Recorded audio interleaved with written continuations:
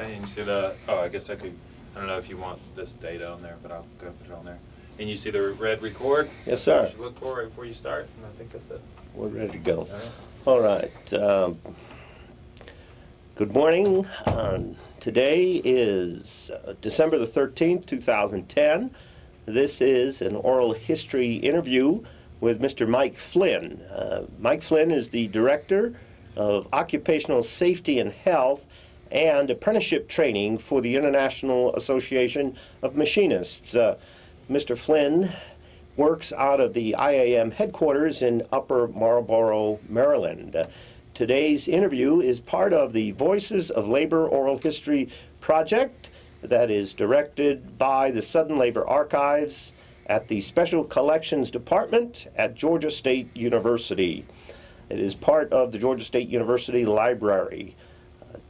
The interview is being conducted by Philip LaPorte, Director of the Labor Studies Program in the College of Law at Georgia State University. Financial support for the Voices of Labor Oral History Project come from the Joseph Jacobs Fund and the Georgia State AFL CIO Labor Awards Committee. Uh, Mike, good morning to you. It's, Morning. it's a pleasure to have you here at Georgia State University. I want to begin by uh, asking uh, where you were born. What was your birthplace? My birthplace was it was in Northern Virginia, just outside of um, Washington D.C. And I lived there for about 19 years um, prior to moving to Miami, Florida. And uh, what about your your parents, Mike? What did they do? Your your mom and dad? Well, my um, my mom um, immigrated into this country from Ireland when she was two years old. Uh, my father is a second generation Irish. Um, my father was a um, a supervisor for American Airlines at Washington National Airport, and my mom uh, stayed at home and raised um, my nine brothers and sisters. Very all right. Very good.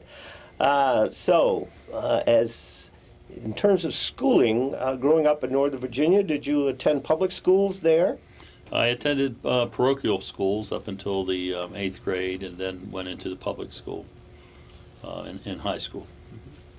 And was it the, the Jesuits, the Sisters of Mercy, the Benedictines? No, it was the Sisters of St. Joseph Mhm. from Cherry Hill, North Carolina, or North uh, New New Jersey.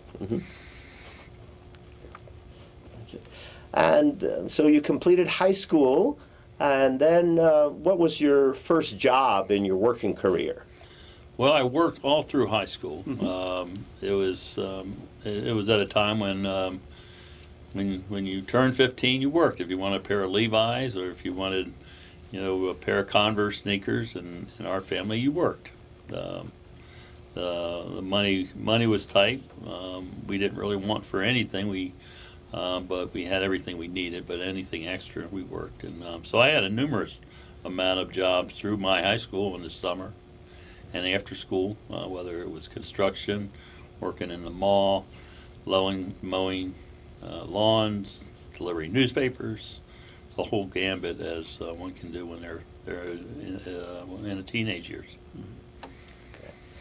And and then uh, after those jobs, after you graduated from high school, uh, what did you do then? Was there a career pursuit, uh, technical training?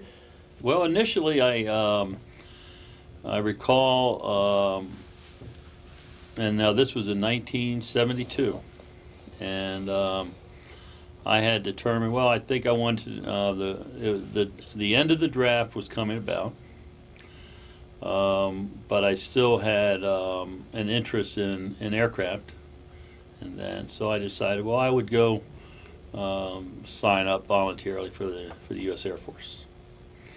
Now, um, I met with a recruiter and they sent me, and this was while I was still in school, and they had a program where you could do all the preliminaries, and then once you graduated, you would go right into your service.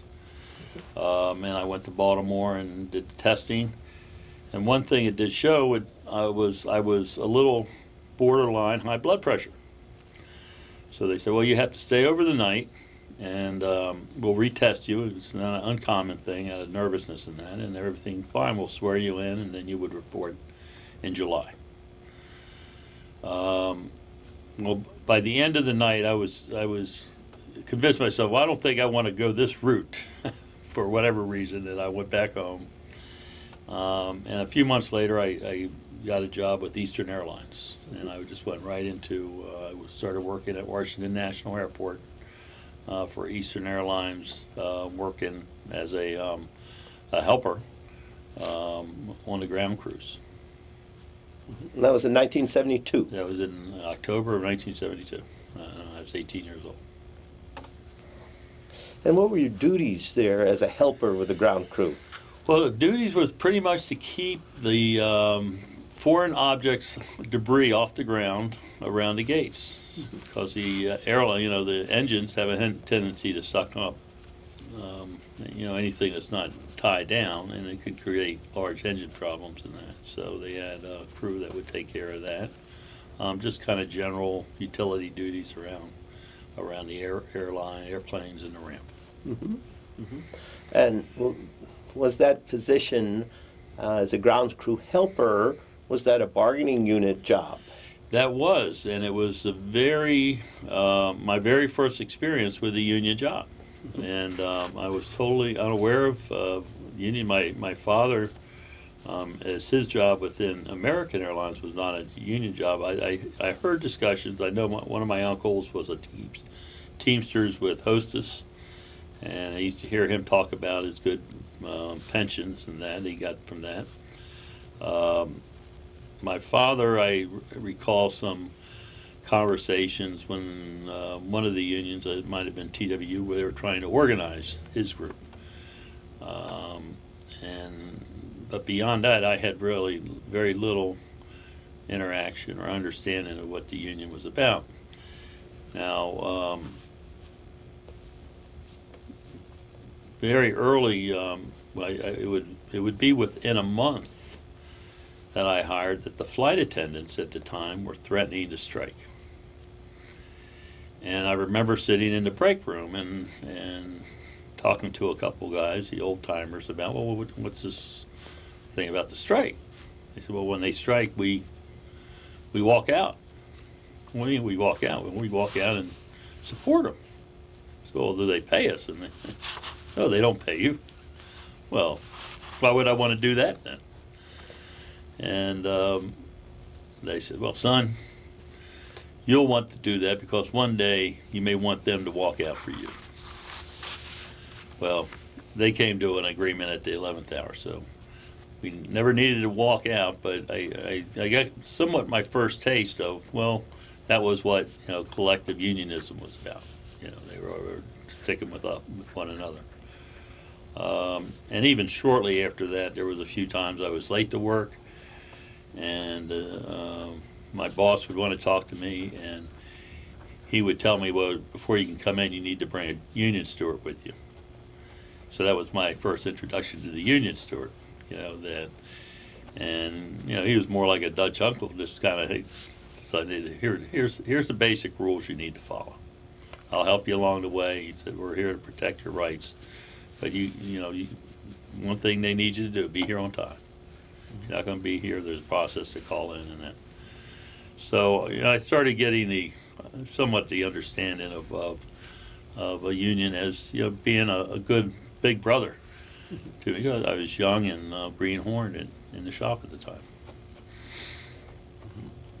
And so that right of representation uh, was in the in the contract, and you had direct experience with a union steward serving as an advisor that assisted you in understanding both your, your rights under the contract and your responsibilities to your employer. Is that a fair That's right. assessment? Exactly. Yeah.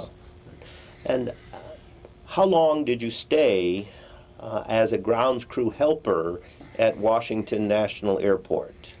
Well, this is um, this was a uh, somewhat of a fluke how this happened, but I was um, it was in February of 2000 of, of 1973. Now, whenever a new job opened uh, throughout the system, and it had to be posted. So there was a posting for six um, lead, um, I think the title was um, lead laborers, which was my classification. Now what, and this was, a- this was the six openings in Miami. They, they built a new hangar for the L ten eleven. And these were rotating shifts.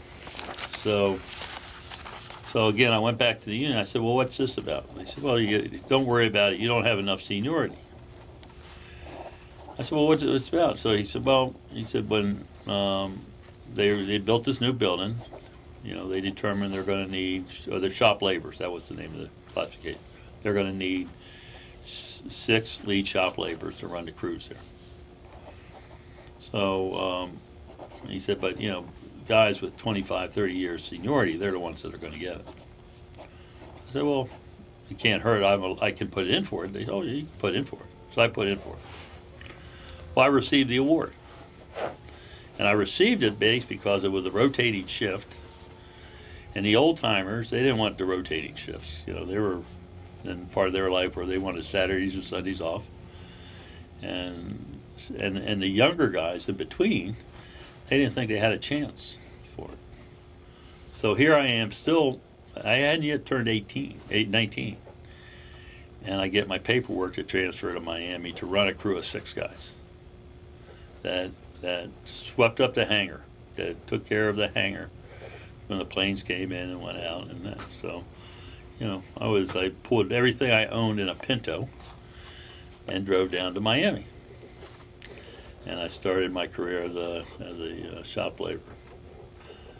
Um, one of my my first supervisor there. Um, I don't know how much of the specific personal detail you want to get into this, but uh, my my first my, my first supervisor there, who I had to report to, his name was Wolfgang Gettig. Now Wolfgang came to Eastern after World War II. Eastern had a contract shipping goods and services back between the States and Germany in the rebuilding of, of Germany. Um, and Wolfgang was a during the war. He was he was too young to be in service, but he was a he was in the Nazi uh, youth corps, and he was um, you know a hundred percent groomed Nazi. Uh, he, he, he, he, he was very self-disciplined, you know, rigid, went by the book, you know, uh, and um, and the clash between the civilizations as I looked at it here, I mean, there wasn't a hair out of place. It, him, I come walking in with hair down to my shoulders, you know, as a lead that responsible for this team of guys, and, and it just it just didn't fit with him very well. so we had our clashes over the years, but I learned, and um, that you know, as as long as I understood our contract book and our rights under the contract, and stay within the parameters that that contract gave me, then I'll be okay. So when I went down to Miami, there was ten thousand machinists um, that were working in Miami at that time for Eastern Airlines, in all different classifications, from mechanics to stock clerks to the baggage to the cleaners to the shop laborers. Um, and it was a very, very strong union, local. Um, and in, in, uh, um, probably in seventy-four, um, they also had a very good, um, training school across the street, George T. Baker, uh, training, uh, aircraft maintenance training, and I, and I registered for that, so I was, started getting on a, on a career track of, of becoming a, a mechanic. Uh, so I would go there at nights, you know, while I was working during the day. Um, So at this point, Mike, you were 20 years old. You had um, 18 months, two years service with the Eastern Airlines, and then you discovered this opportunity across the street, this uh, training center, uh, George T. Baker, uh, that had a uh, course in aircraft maintenance. Maintenance. Uh-huh. And so you were working full time and and going to school. Um, and with the goal of, of getting my um, A and P tickets, you know, for to be able to be a, a journeyman aircraft mechanic. Now, um, as I was going through there, um, we had um, under our contract, no matter what type of work you did under, had a number, a number of, a wide, broad range of mechanics under our contract. Um, you could be an avionics mechanic, you could be an engine mechanic, you could be a power plant, sheet metal, um, and each of the disciplines, um, a, a, an additional rate of pay would be. You, you would get a, you know, maybe twenty-five cents per license. Um, or for an avionics ticket, you would get fifty cents. Um, so is, but once you got into the mechanics classification, then you can move around based on what type of other experience that you have. So my intent was to get into the classification as soon as I could. And um, in 1975, one of the first um, classes that they send you through, um, George T. Baker, is, is, is metallurgy and um, and painting. That so I got my my certification to to paint aircraft, and I was um, then upgraded to a mechanic in our block overhaul uh, area, where I worked for about, I guess about a year, a year and a half. Now, all through this time, um, I became more and more active within the union. I started um, uh, writing for shop stewards, you know, and then um, volunteering, you know, for different projects that they may be doing out out of the local lodge, fundraisers and stuff. We had a big local lodge across the street, uh, local lodge 702. Um, and there was just a lot of different benefits that they would afford to members there. We had our own dentist that, that the dues offset the, some of the prepayment that our regular insurance covered and stuff. They had a, an arrangement with a, an eye doctor over there, so you can get eyeglasses for pretty virtually free between the insurance that need negotiated with the company and the benefit through the union. So there was just a lot of activity going on within within the local.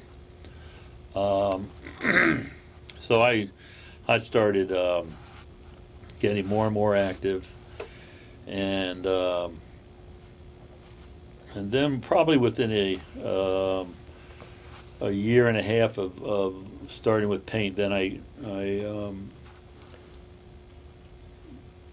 I transferred to a upstairs shop job, and it was another it was another somewhat of a fluke that a lot of the guys that were in my class at the schools at the school um, a couple of their fathers were in management in some of these shops. They had gone through the ranks and then became foremen and that. But they knew what shops were going to be opening up and when they were going to be hiring people. And there was an, an interior shop that they said there's going to be 12 openings coming you know and it's uh, working on the interior cabinets and seats and um, windows and that of, of aircraft that come in for overhaul. Um, so we all put in our paperwork for it, and this was a day. This was a day shift job, Saturdays and Sundays off. Which, if you only have five years, you don't expect to see that in that industry for 15 years. So um, since we had kind of the inside scoop on it, we all ended up up at this shop. So um, you know, we got some those good hours, but it also gave us an opportunity to, um, especially me, gave me opportunity to get more and more involved with with the union um, and what what was going on there. Uh, since my I was on the normal shifts right? Right, and so union meetings um, held in, in the evenings or other events sponsored by the union scheduled in the evenings or political activities scheduled in the evenings. So by a, a five-year seniority uh, employee who successfully bids on a day shift job then gave you the opportunity to participate more in those union events and activities? Yes. And and then it and my I think my my passion for the union, you know, started growing at that point. I started seeing that, um, especially just being the the shop steward on the floor, um, where you know people would seek me out for advice and guidance on whether things were grievances or not, or to pursue it. And, um, and and I'm starting to understand how, you know, how, how to make those kind of decisions. Whether I mean, we would have uh, when when I, for an example, went up to this shop where most of the most of the guys that were working were, you know, cl- a lot closer to retirement than they were not. You know, Mhm. they were maybe And might have two, three years left or so. And these are old World War II veterans. They were just fascinating in themselves, the stories that they had. But, you know, they would come to me and they say, uh, one guy came to me, I remember one day, he said, you know, can you do something about the light down at 36th Street? I said, what? He said, well, the Pan Am hangar is on, you know, we're, we're going to be making a right. The Pan Am hangar is right across from the Eastern hangar. And they have their own service room to go into that hangar. Right next to it is the Eastern. Well, I'm sitting over here waiting for, they turn on their blinker, but I don't know whether they're going to be turning to the Eastern or the Pan Am. I said, well, that's not a grievance. I can't, there's only so much I could do, but it's not the grievance, you know. So, but, you know, found out, you know, it, it, it gave people an ability to vet, vent Mm-hmm. somewhat, you know, whether it was too cold in the building or that. The union couldn't take care of everything, but at least there was an outlet for them. Right. And he just gave them the respect of listening. Found out when it came time to, for the important issues, you Mhm. know, that respect Mhm. just built, you know, and then you can see down the road, Mhm. you know, you can build good rapport with, with folks that way. You know, they say every experience uh, impacts and influences us in some way. So, in listening uh, to you, uh, perhaps your experience with Wolfgang made you aware of the specifics of the contract and what you could do as a union official and you could not do. Do you think that played a role in your service as a job steward? I think it, I, without a doubt, without a doubt, because he was he was so rigid in that, but he knew where his boundaries were, you know. And in fact, at one time, about a year and a half later, I had to go out. I, I needed to go out. I needed I needed two weeks off. There was just no there was just too much going on in Colorado where I was going to be there, and and I always had burned all my days off, you know, and vacations early. and went to Wolfgang knowing he was going to say no, right? But he he had to for the protocol I had to go through, say no. But I knew I also knew the manager, and the manager was um, um, a good Catholic. So um, I use that to my advantage. Like there, there's a retreat going on in in Colorado, you know, these two weeks there, you know, and I'm considering, you know, attending that. He said, oh, by all means. I said, well, I don't have the vacate. Well, just let Wolfgang know I approved it. So, you had a manager who was uh, filled with grace and was looking out for your soul. my soul. He was, and I think probably in the background he was hoping my soul would stay out Colorado. And uh, you had mentioned that there were 10,000 machinists in, in Miami. Uh, now, were they all members of Local Lodge 702? Yes. Or were- they were. Yes. So there was that concentration of, of union members, 10,000 in that one local lodge in Miami. Yes. And so the standing and status that that local lodge must have had in that community in terms of uh, purchasing power, in terms of political clout, in terms of uh, their standing in the community. Can you comment a little bit about that and the size of that local lodge? It, it was it was it was huge. No matter um, you know any politician that was you know wanting to you know put their name in any hat you know came through those doors, you know, and then they they had a um, and we had a lot of smart members that, that were active within um, the local political scenes. We had a number of our members that, that ran, you know, for, for the different councilmen and mayors. Now we have a, one of our ex presidents of our, our lodge. He was the president of Lodge 702 when I was the president of 1690. He's now the mayor of um, of um, a town down in Florida. What's that? It's not Plantation. I'll think of the name. It's right next to uh, Fort Lauderdale. Uh, but he was a councilman there, you know, for years, and um, and you know, no matter what, what they did, the amount of monies that that that, that represented as far as just the buying power Mhm. uh, of the community, it was it, was it was it, you know, for you know. And you uh, mentioned that you became a steward in that local lodge. Uh, were stewards, uh, well, what year was that?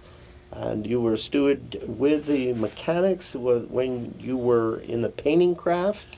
I was a steward in the painting, and then when I went up into the interior department, um, and in '79, um, they opened up a, they expanded our C-check operation um, to Atlanta. So they moved a big group of mechanics up to Atlanta uh, or I guess that they opened that up in '88. Well, um, I had put in my paperwork to transfer on that. It took about a year for me to get to have the seniority to be able to transfer. Um, and that's, um, and I guess that was in January of um, '79 that I ended up in Atlanta. Now, Atlanta, we had 800 mechanics. We had, had, a, had a total of 3,200 machinists. But out of that numbers, there's only 800 that were mechanics. We had line mechanics, and then we had the hangar mechanics that we did the, um, they call the C checks, overnight checks of aircraft. Um, they would roll in at midnight and, um, and usually that airplane rolled out by, by the end of the first shift uh, the next day. And the uh, machinists worked at the uh, eastern property here in Atlanta. Uh, and what type of equipment were they working on? Aircraft? Yes. Um, pretty much you worked on the, um, the DC nines, the seven twenty sevens. Um, we would have, um, for they, we, um, the L ten elevens. Now, some of the planes wouldn't fit all the way into the hangar, but, um, um, the, pretty much their whole fleet, the seven, the, the ten elevens, the L ten elevens, and the seven, uh, A three hundreds were primarily worked in Miami. Uh, but if they needed aircraft on the ground repair, we could do it here. Uh, but it was mainly the seven twenty-sevens and DC nines that were doing the C-checks operations. So when you say C check, it's C as in Charlie? Charlie check, yeah. Yeah. And w- was the, um, the work that was performed, uh, could mechanics go across the, the different aircraft? If you had a mechanic uh, who was assigned to do interior work, uh, would they be able to perform those duties on both the DC-9s and the 727s? Yes. Yep. Yeah, they, yeah, they were um, trained for all aircraft. Now, you could bid into your specific crews. So you would know that more than likely you, you would bid, let's say you, you would bid avionics, you, you would bid, um, uh, C-check seven twenty-seven crew. So you would, ninety-nine percent of your time you would be there, but you could be farmed out to do other work. I mean, know, And so it was uh, Atlanta in 1979, 800 mechanics, and the local lodge had 3,200 employees. is that- thirty-two hundred members. 3,200 members. And how did you find the, the difference in comparing your experience down in Miami with what you found uh, in Atlanta? Well, um, I, I probably I used the word. I started getting the passion for the union down there, but it exploded up here, and um, it exploded because I saw um, so many opportunities that this the union local union had here that they weren't taking advantage of um, and providing the types of services that I know the union was capable of doing because I came from a local that was progressive, you know, that, that did things that were engaged politically, that was um, uh, involved in a lot more community services types of activities and that. And I learned one of my greatest lessons I learned, and I think it was um, um, probably one first couple of meetings that I came came to up in, in Atlanta, and um, they were discussing some some issue. I'm not sure what it was, and um, and I raised my hand to and, and comment on it, and I uh, stood up and I, I said, "Well," and I started my sentence like this. I said, uh, "Mr. President." in Miami, they he takes a hand, gavels. Hold it, hold it, brother. and he, he goes, I want everybody to look out the window. Does anybody see a palm tree? Get a big hoot, you know. Okay. Well, we're not in Miami. Now, what were you saying, brother? Never mind, brother. so that was my lesson, okay, and it stuck to me, and, and I started realizing that um, it was somewhat of a good old boy cliquish operation happening here. Um, they were um, there wasn't a lot of people that were at the union meetings.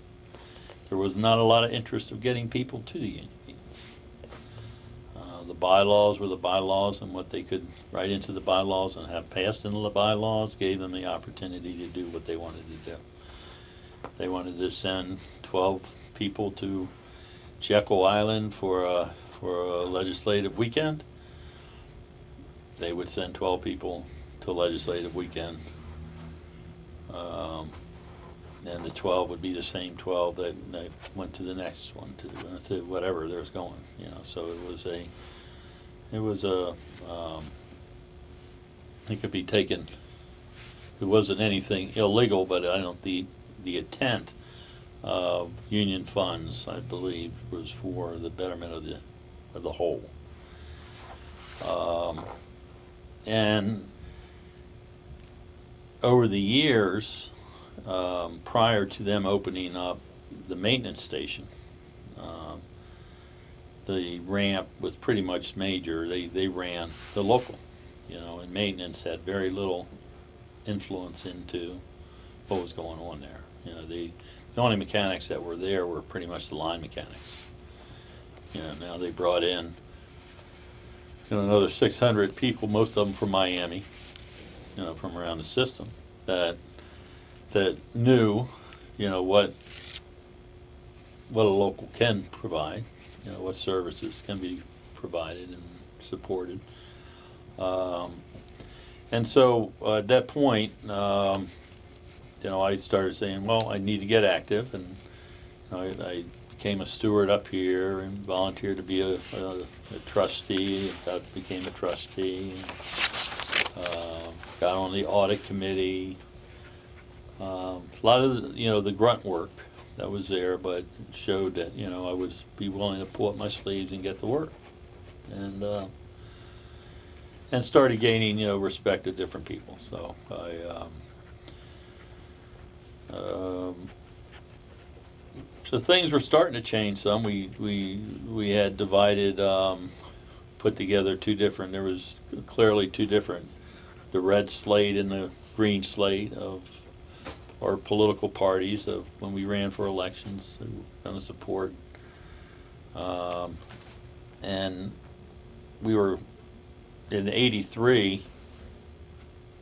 We came very close to going on strike, um, and they had a, a literally, I think they came to an agreement at five minutes before midnight on the day we were walked. We had all of our toolboxes walked out. They took them all home, and um, we had our strike headquarters set up at Holiday Inn um, up on the hill, and everybody had their strike assignments, you know, for picketing and that. And um, and we ended up not going out, um, but it was a good run up for what was to come down the road you know, in a few years down the road. Um, Just a couple of questions about uh, your role uh, in Atlanta as a steward. Now, was that an elected position? y- Yes, And were you elected from among the mechanics? As that one unit electing a steward from uh, there? Um, yeah, you were elected by, from your own um, shift and classification. And did you bring your own constituency with you from Miami with that transfer of 600 people? Um, there, there was a few of them, Mhm. but um, um, and there, there was a few that I knew from Miami, but um, by and large, most of them um, we had just met over the last year or so. And what do you attribute um, your gaining support from with a new group of workers in a new location, in a new local, um, that they want Mike Flynn to be their steward, they want Mike Flynn to be their representative? Uh, well, I lined up with the with the ones that did have that experience with with the chief steward. You know, when I, I I worked closely with him, you know, and and he threw his support, you know, behind me and um, through his support to send me to like leadership schools. That's where the union would have schools. Um, off-site, we at that now now we have our own. Um, standalone training center. Uh, but at that time, we would be sent to different labor centers around the country. Went to University of Alabama, uh, labor studies, um, Colorado, Boulder, Colorado for second year leadership school. But um, you know, once I started getting recognized by that that group, and that's where we talked about like the green slate and that of the, the different people that um, they they showed that you know they they supported and respected me, then they would encourage their friends to vote for me. And the trustee position and audit committee, were those appointed positions?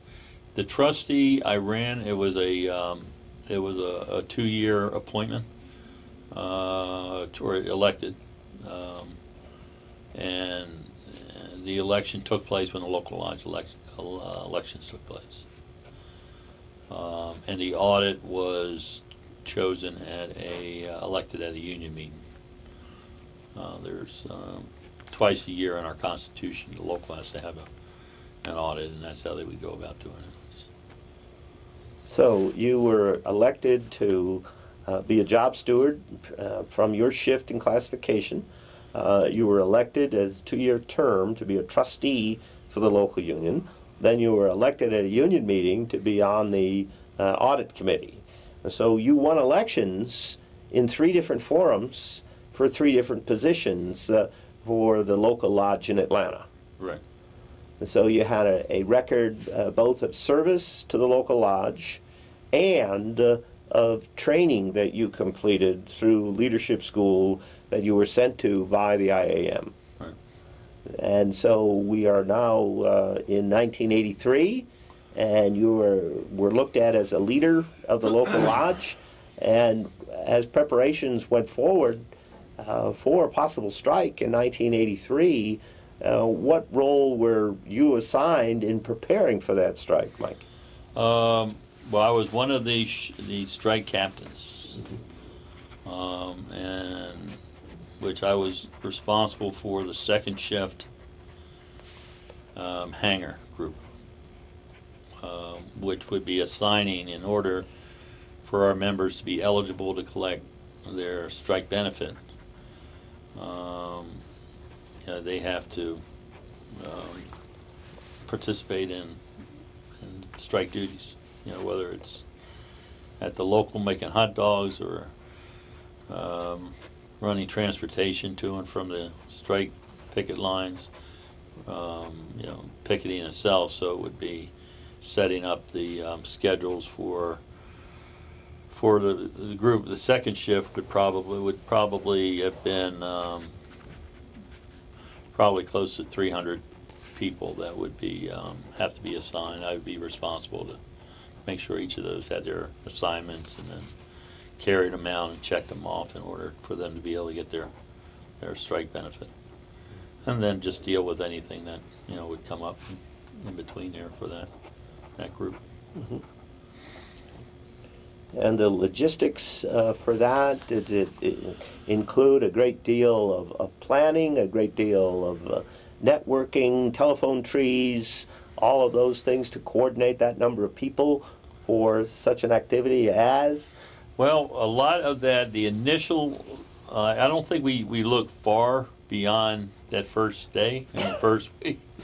But it was like before they walked out on that Friday, they knew where they were expected to be on their next, if, if the, the strike goes down, who was going to be the first ones, you know, at each strike picket's location and what they'd be doing. Um, and one, one of my finest um duties was to, there was, there was two guys on my shift that we got the word that they went into work. They were gonna scab. So they would go into work at eight o'clock. We're sitting over at the Holiday Inn preparing, you know, getting everything. We get a call that these guys have shown up to show up to work. So I put them first on, it. they were gonna be the first on strike duty at the gate. So I had to call them up and say, you know, I got your, got your strike duty ready for you. So they had to tell me personally. Well, I'm, I'm not gonna be, uh, well, what do you mean? Well, I'm a supervisor now. I said, well, by our, by our constitution, there, there's no such thing as becoming a supervisor four hours before the strike. Said, Go walk in and you're a scab. That's what you're gonna be. I'm gonna make sure you under, understand that. Well, we all have to make our decisions. I said, well, yes, you did. So they ended up, um, going into work and we ended up rolling our toolboxes back in. Eastern laid them off that Monday Hmm, and they never came back to work.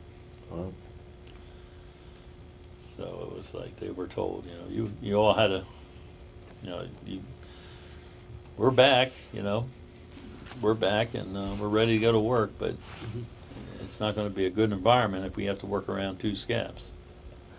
So Eastern Airlines didn't get the notice that these two employees had been promoted to supervisors four hours before the. Well, they got the notice, but they, as a supervisor, they didn't have any um, bumping rights, right? Sure, sure.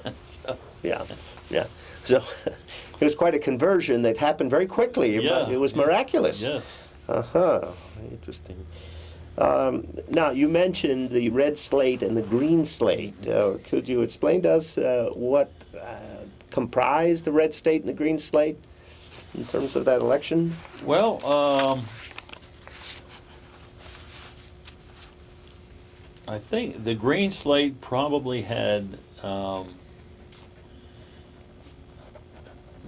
more of a uh, more of a influence from the Miami um, group. Um, our most of our um, business representatives were general chairman. We were calling.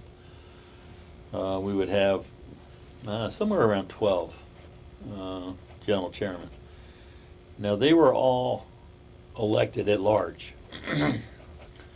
so, because of the sheer size of Atlanta, of Miami, um, seven or eight of them would come out of Miami.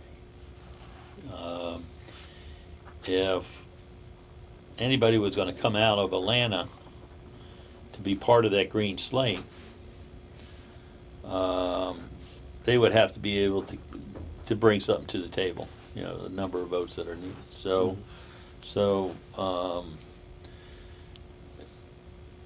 the majority of the Atlanta slate was influenced by was was red, that were trying to get more seats than they really had the political capital to get. Um, let me see how to explain this. Um, Charlie Bryan, you heard of Charlie Bryan? Yes, right? sir. Okay. Now, Charlie, he was the green, he was the green slate. Um, the guy that he beat was a guy by the name, of- and Green also was influenced much by uh, me- the mechanic classification, which mechanics, they were the majority classification out of Miami.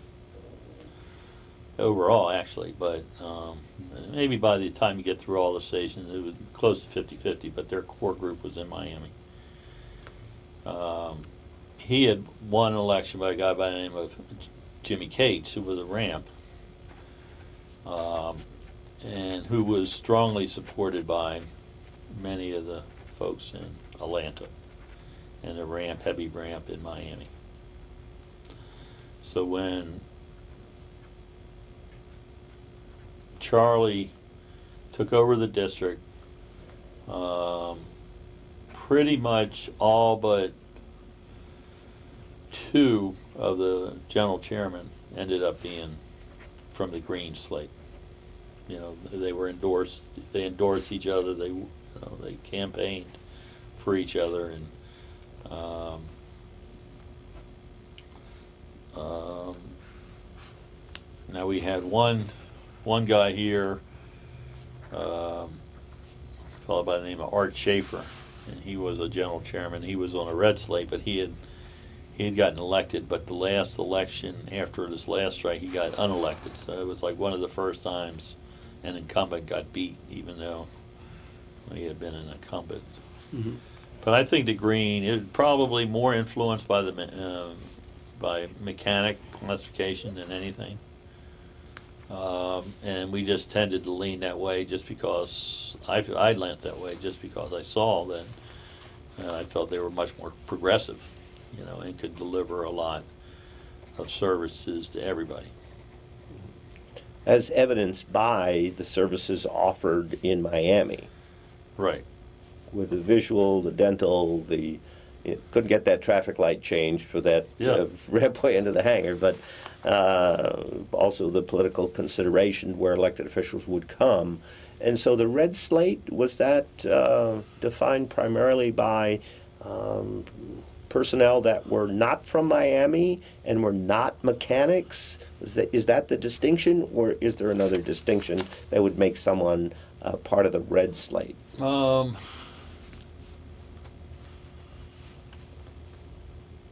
most of them were not mechanics. There was a Mhm. couple mechanics, but most of them were not mechanics. Mhm. Um,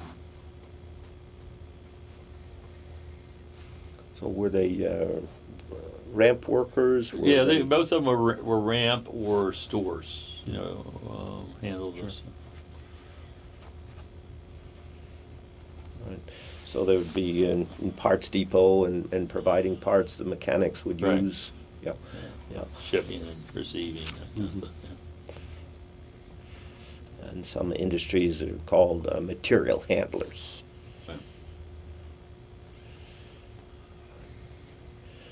All right, so the, um, the green slate comes to uh, dominate, and I, I think you said uh, eight out of 12 general chairmen from the green slate, is that correct?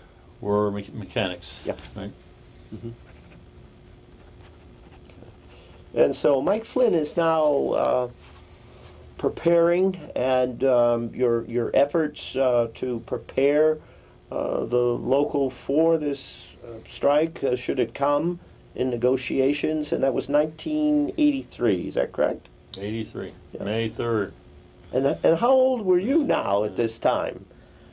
Well, 80, I was 29, I guess. I was um, 84, I would be, yeah, I was like 29. Yeah. And uh, how was the, the work that you did in preparation for that? How was that received among uh, the hierarchy in the IAM? Uh, were you recognized for your efforts, your work, for that passion you showed for that union work? Yeah, I, I think we, I, I think it was being, I think it was acknowledged and, um, I started being inviting to, in, invited to more, uh, functions, internal, even, you know, internal green functions. They would have like a green side, it would, it would be called a green side. They would have a green side picnic, or they would have a green side, um, leading up to, um, a next year's election on, on selecting a slate, you know, to take positions. And um, those meetings would be held down in Miami. So, you know, if you were invited to go down to there, then, you know, you're, you know, they're, they're seeking your input from here and, and, and that on, um, you know, what names are we going to forward, push forward from up here to get on the slates down there. And, um, you know, it's, uh, so, you know, it's, it's kind of informal, but, um, you know, it was an important process to be able to keep our group together moving Mhm. forward. Mhm. Yeah. Right. Um, one of the things I, I just want to ask about is the, the IAM structure and how uh, mechanics were uh, viewed as being the most skilled, the most training, uh, adding the most value in terms of uh, getting aircraft out and, and ready to fly. And yet the machinists uh, also represented many other employees, many other crafts uh, that were employed by the airline, uh, ramp agent, cleaners, uh, the ground crew that you began with, uh, and how the IAM uh, dealt with representing uh, uh, employees that were members of the same union but we're from a wide variety of different crafts. Well, that's interesting, and that's, that, that's, that's a whole, could take a whole day on that, but it, it was one of the biggest challenges that I had. Now, I was, there was a, a group called AMFA. Now, they came to Eastern when I was still in Miami, trying to um, wedge, put that wedge between the mechanics and um, and uh, uh, other classifications. Well, the mechanics stood up and locally and fought them off. And you know, we don't we don't have you know, we don't don't come here waste giving us that banter. We're we're together here. Um, now they started showing up in in Atlanta also when I came up there. Now I used that when I began and looking I was going to be running for president um, in '84. Um, I use that as a positive that I'm I'm here. I'm a mechanic, yet I also served in other classifications. And if anybody and and and it was the the hardest to sell was was the was was the mechanics. So if anybody thinks they're going to come along and convince you because of your high skill, and or convince you because these folks don't have as high skill as you that they're draw keeping you down from making two and three times more an hour. It's a lie. It's nothing but a lie because the, the strength that we have at that bargaining table is the strength in the numbers as a whole.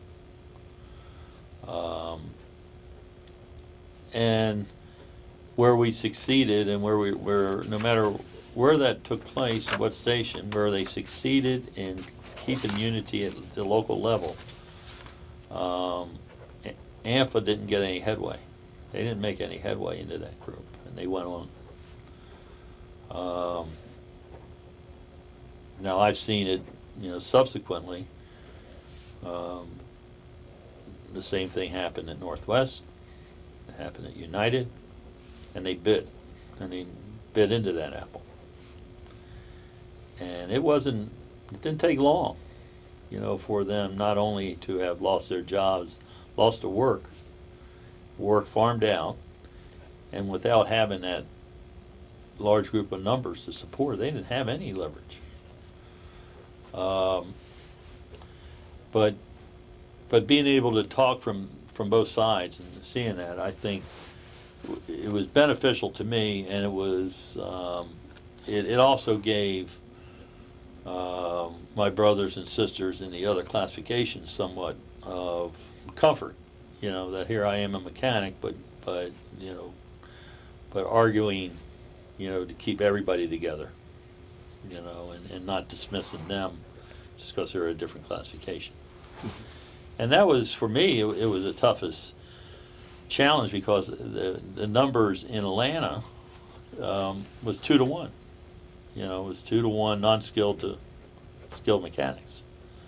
So they could, um, you know, normally they never had. They very rarely did they ever have a a president that was that came out of the mechanical classifications. Hmm And so your your role as being able to speak to the interests of both uh, the skilled mechanics and uh, the employees that held other classifications, that you had that credibility because you had done it. Right, and, and it was, and, and where I saw that in areas and knowing in areas around the system where, um, where they, um, succeeded is where they didn't put up that local fight. You know, that they depended on other people from the outside, you know, help, AMFA's coming in and they're, you know, getting people to think like that. and, You know, it, it really has to be taken on. All Mhm. fights, everything's political is local, right? And all fights like that are local too. You know, Yeah. and uh, you have to have the people that have the credibility at the local level to be the one, Mm-hmm. You know, taking the forefront on that. Uh, 1983, the uh, contract uh, was settled. Um, and how long was that agreement for? Was it a three-year deal, a four-year deal? It was um trying to think that normally it was it would be a three year contract. Um, now that that contract was um, it was very unique in that in in it because um, much of our there was different formulas that were put into place there on the amount of um, trying to think of I, I may get I may get this timeline wrong here. Lorenzo took over in '86, so that was it. Yeah. Part of our agreement in that contract was we would our raises was contingent upon the amount of work that we could identify, savings that we could identify by bringing work in. Um, they set up joint labor management committees that would go out and they look at just different things we're buying, products they're buying. Is there ways that we can fabricate those products cheaper, in-house? They were buying like VW ashtrays for the lavatory doors at four hundred and something dollars a pop. You know, so, so these these committees now, Charlie Bryan and is you know, coming from a strategic standpoint and negotiating that, he had already had put together his own committee up front and had identified tens of millions of dollars of savings that if the company was interested in, um, of using those savings in order to justify in- wage increases, we're ready to go, you know. Um, so they signed that and, and once they started unveiling how much money this is representing, they had to come back and, and back out of that agreement.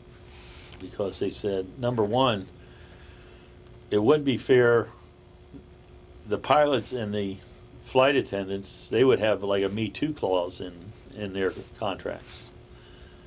But, you know, what kind of savings can a pilot identify? You know, what kind of savings can a flight attendant identify compared to the type of savings you all are identifying?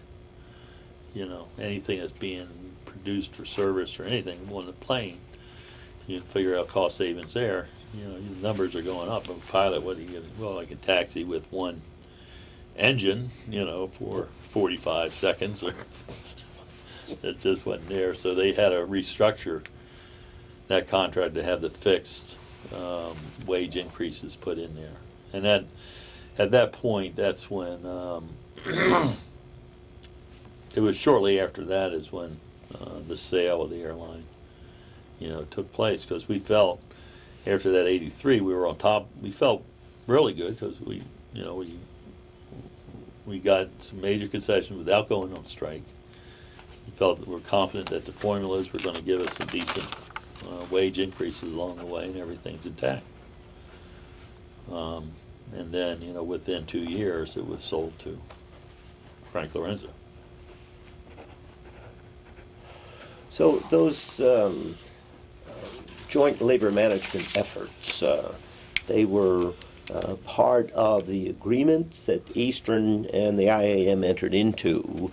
And can you give us some examples of some of the um, efforts uh, examining uh, machinery, examining uh, engines, examining the uh, maintenance protocols, perhaps greater fuel efficiency? What were some of the things that those committees came up with for those cost savings? Um, fabricating um, or um, overhauling parts that would be retooling parts that were thrown away, and where they would have to fabricate brand new parts, finding other ways to to fix items that were destined for the trash. Um, using different lighter materials, other materials than what they, to reduce their weight inside the aircraft, you know, for, uh, for the seats and that. Um, I think uh, a big push was on identifying other vendors that can provide the same products for cheaper, which was a huge amount. Like there was some, uh, a lot of sweetheart deals that, that was uncovered that was, um, you know, that people should have ended up going to jail on, um, on the type of purchasing that they were doing in mass, so. Um, good friend of mine was, um, in fact, he was matched up, he was our, he was a, um, he was, system board of adjuster. He, under the Railway Labor Act, they have, the union has their rep, the company has their rep, and then there's a neutral system board of adjuster, which is one for the company, one for the union.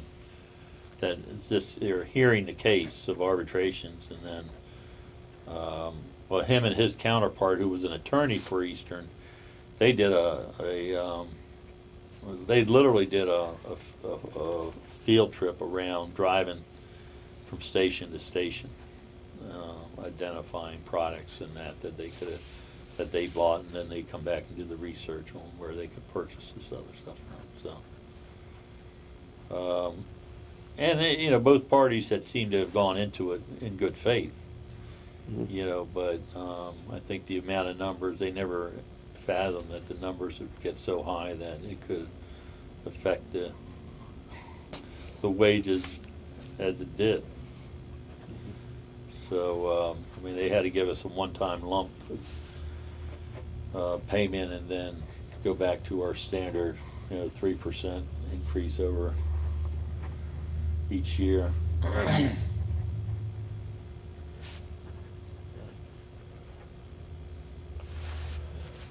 So it's 1983, the contract has been settled, uh, the labor management efforts uh, were being held up uh, as a model for uh, labor management initiatives. uh, Eighty-four and eighty-five, right in that area, right?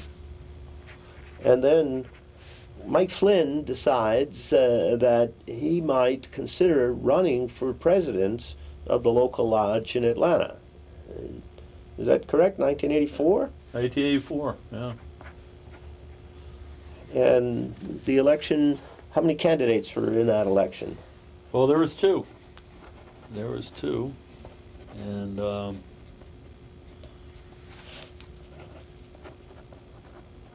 trying to think what month we ran in. I think we would run it in November. The election, and um I lost in my first election. I lost, and I lost by um, 35 votes. And um, And it, I would, I would always say, you know, you know, Atlanta, they're so nice down here. You know, people are nice. and I would tell people uh, that would come in from other cities afterwards, and when you come down, and it's a great place to campaign because you know they, it's not like being in New York where they call you you're a bum. You know, get the hell out of here. in Atlanta, you have that friendly Southern courtesies, you know. And um, I mean, to the point I thought, well, I got, I got this thing, you know. So, uh, but I ended up losing by 35, uh, 35 votes. We had big, um, it's all day vote, so, you know, I mean, it's always a big turnout. It's probably 80, 80 some percent of the membership turns out to vote. And, um, but it was a good, it was a it was a good exercise, and I felt okay afterwards, and uh, you know stayed active, you know, through it, and then um, and then um, really the drums of war started started sounded in in the distance after the um, you know Lorenzo buyout. Um,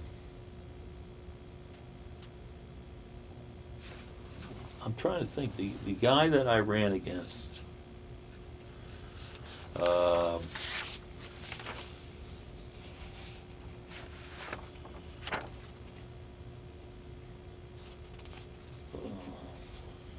okay. Yeah.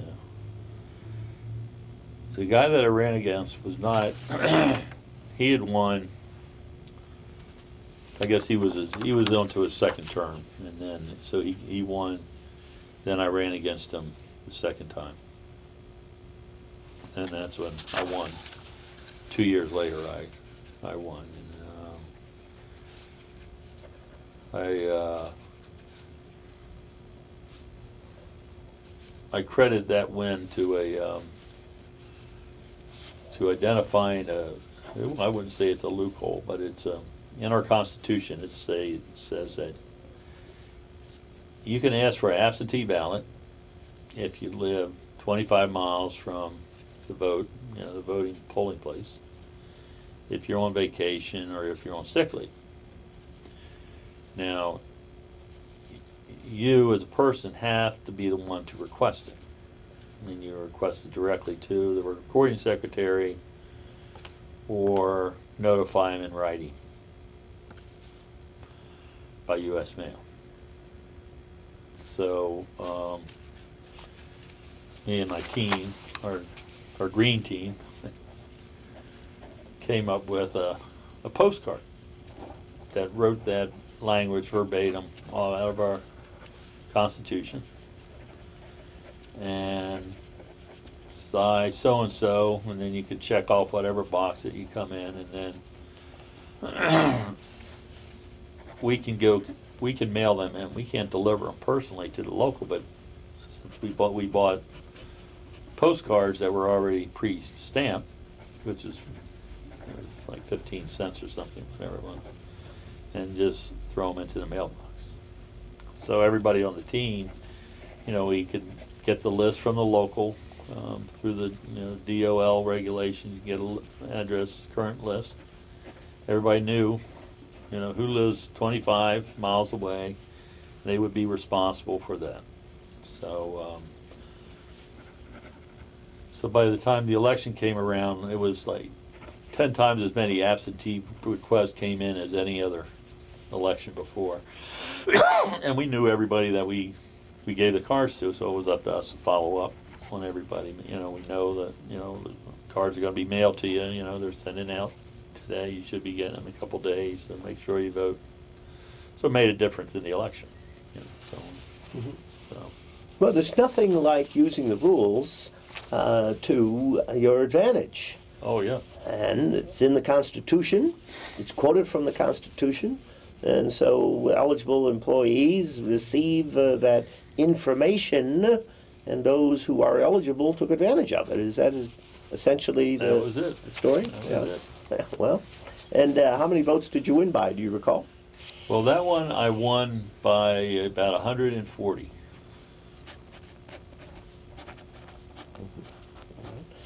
And it, the participation rate, you said in the first election was 80% approximately?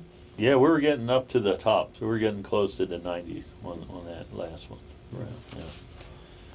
Yeah. Um, and it, it was set up to where uh, um, we requested to be able to set up a um, voting close to the airport. So their local was all the way over in Forest, Forestville. Set up a hotel right across from the airport there. And, that- and that, you have to get a approval from the international to do that. And due notice and all that. Mhm. So, um, yeah, it was, um, but yeah, looking at the rules and saying, well, how can we make this work for us is, um, one of the most interesting parts of the job even today. Sure. Some might say in a presidential uh, primary that caucus votes count just as much as uh, primary votes. So uh, delegates are gained by whatever means is set up. Yeah. So we saw the difference that made in that Democratic presidential primary, sure. Uh, knowing the rules and using the rules, absolutely.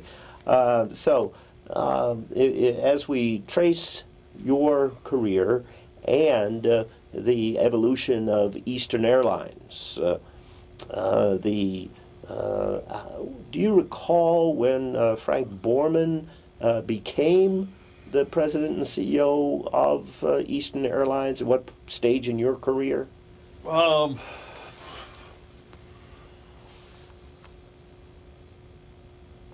I think he was there when I came there. He, I think he started in like '68 or so. If I'm mistaken. But I remember him. Um, I mean, he he had a presence around him, you know, and um, you know had that celebrity presence around him just by you know virtue of him going up to the moon and that you know and uh, he was used as our he was a mouthpiece and he was the commercials for for Eastern you know and, uh, still remember him walking out you know with the aircraft you know saying we the largest airline in the free world flying more people more places you know, the wings the wings of man And he he was featured uh, at that time, of course. Uh, the uh, CEO is spokesperson, and uh, Frank Borman was uh, on a commercial in front of a number of Eastern employees, including pilots and flight attendants and mechanics and ramp workers, uh, saying at Eastern Airlines, we earn our wings every day. every day And in another commercial, he was quoted as saying, uh, uh, that pe- when people ask me about how the airline business is today, I tell people at Eastern Airlines things are going zoom. And he held his hand out and made a motion as an airplane rising in the sky. And uh, apparently, uh, Eastern was uh, doing well. The labor management initiatives were paying great dividends. Uh, it was flying more people than any other airline. And then we, we had a change. Uh, and Eastern Airlines began asking employees for concessions, began seeking to take back uh, wage increases and benefits, etc. Do you recall um, the time frame for that, Mike? Well, well, this kind of brings us back. This is going to rattle something in my mind back in um, when I was in Miami, Mhm. and this was probably a crucial point for me personally. But um, I guess it was in 70, 78 or so. No, 76, 1976. Uh, they set up a, they called it the VEP, Variable Earnings Program. And, and we would get stock in lieu of wages for increases. So we were gonna vote on this thing. And we get this packet in the mail and on a Friday this thing has a prospectus in it. It's, it's like you know, it's, it's sent to somebody that, that familiar with stocks and bonds, and you have to get the whole annual reports and all that. Well, the prospectus of what this program was all about, and I took it over to the library because I could hardly read it, understand it, and I was going down through it just and I called our leader at Monday, our district, and he was a pred- predecessor to Charlie Bryan. And I and and he would never return my call. Call the office, never return my call. So somebody told me, well, call this guy, guy by the name of George Brown, who was one of our international reps, retired. And he goes, he don't like him. He'll he maybe he can give you some guidance. So I called him, and he goes, he goes, I tell you what, he said, I'm gonna give you William Winpisinger's phone number at home. Goes, Don't tell him where you got it. But you just tell him what you told me, because it doesn't sound right, what you're saying. so I called.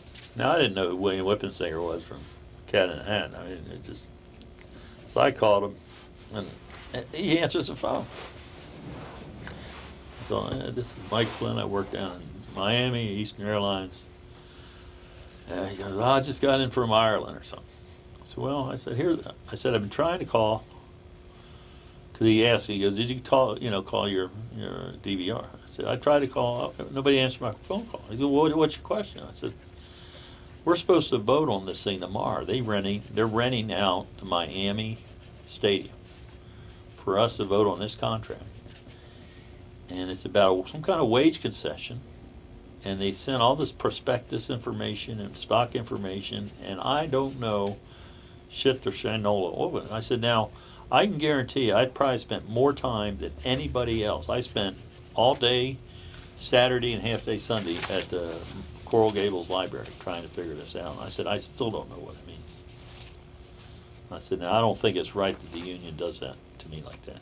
They should explain it so we can understand. So, well, son. So let me let me make a few phone calls and see what's going on there.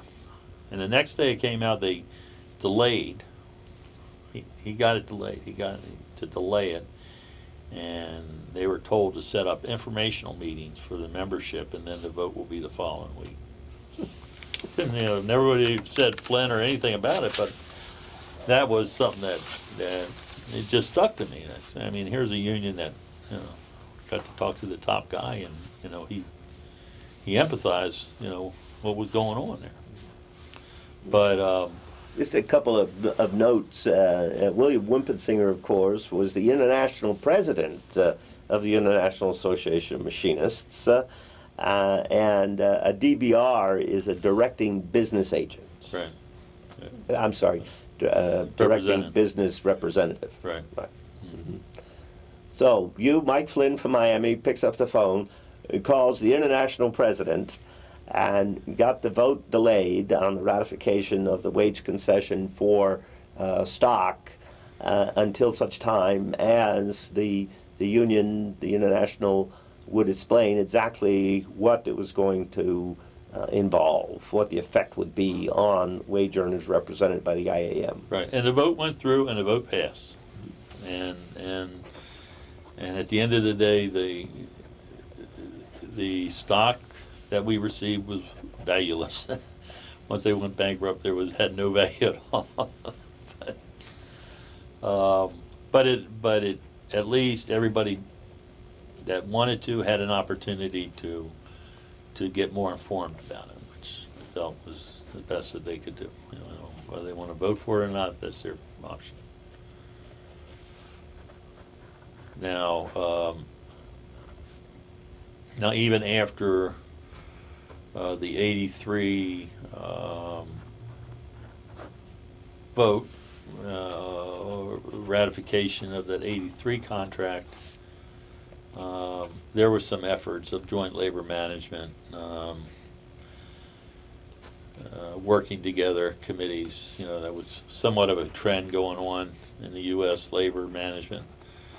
Um, and eventually that disintegrated because the, um, one of the, one of the, uh, one of the main problems the company did here, we had a change of leadership and even some of our stewards and chief stewards were removed from office um, which were they were full time jobs, but you know the people decided they wanted to put other folks in there. Um, the company still tapped them to be on these other committees, these labor management committees that, um, um, and because of that, you know they it just did not succeed. You know people felt that you know we we unelected them for a reason and if we're gonna be on a joint labor management committee, we'll decide who, who's gonna be on the labor side of things. And you all can decide who's gonna be the management. So, so, and that was probably one of the last efforts that they put together prior to Lorenzo uh, coming in and, and taking over the airline. Well, that's interesting in that um, if it's a labor management committee, then as you say, labor is to name the labor representatives. The, the company doesn't name uh, the union's representative. I'm sure uh, that the union would have liked to have the opportunity to name the management representatives Yeah. to the labor management committee, but oh my stars. Uh, so we have um, your election. And now you are the president uh, here in Atlanta of Local Lodge 1690. And uh, at, and what role did you play uh, as president of Local Lodge 1690 uh, in terms of uh, subsequent uh, negotiations with Eastern Airlines? Um, I was not directly involved with the negotiations. Um, president, uh, the uh, president of the district, Charlie Bryan. Um, I also was on the executive board of the district. That uh, the district, under our constitution, is responsible for the negotiating and administrating of the contracts. Um, the locals are responsible for just administrating local activities um, in the area, in those areas. Um, Now, our, my vice president for the local um, was put on the negotiating committee as a representative from Atlanta. Um, And he was from another classification. They had, um, Charlie was the head uh, negotiator. He had um, three other rank and file members on the committee, and he had two subject matter experts on finance and pensions.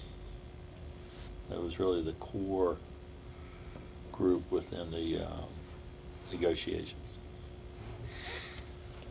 Now, leading up to to there, um, their um,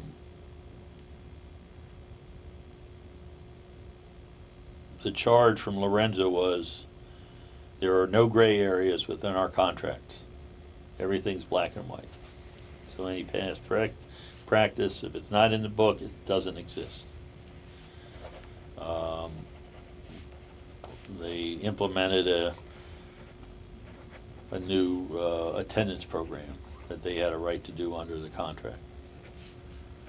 Um, terminations started just, I think by the time uh, we went on strike, uh, it was in the hundreds, um, system-wide of people that had been terminated that was awaiting arbitration, you know, and um, most of them would get um, in fact, most of them received an award after the they went out of business, but they received it on five cents on the dollar because it, the fund was you know was included into the bankruptcy funds.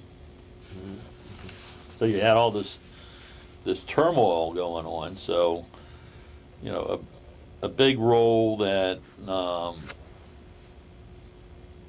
that I was somewhat uh, involved in was trying to keep the cap on from over overflowing. I mean, we, we we knew the importance. I mean, the the law.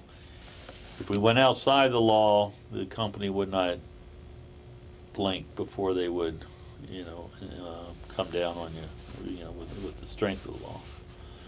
You know, so you know, any kind of illegal actions or any stoppages or anything like that, we would not we would not win.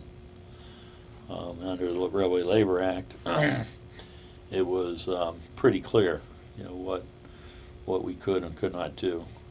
Railway Labor Act also, it just kind of kept an open-ended contract. It's not like the NLRB where, you know, the There contract's no- over and it's done. It just goes on and on and on until they release you. So we never knew when we would be released. Mm-hmm. But it was just that constant gloom and doom going in and people realizing, you know, where where are we headed?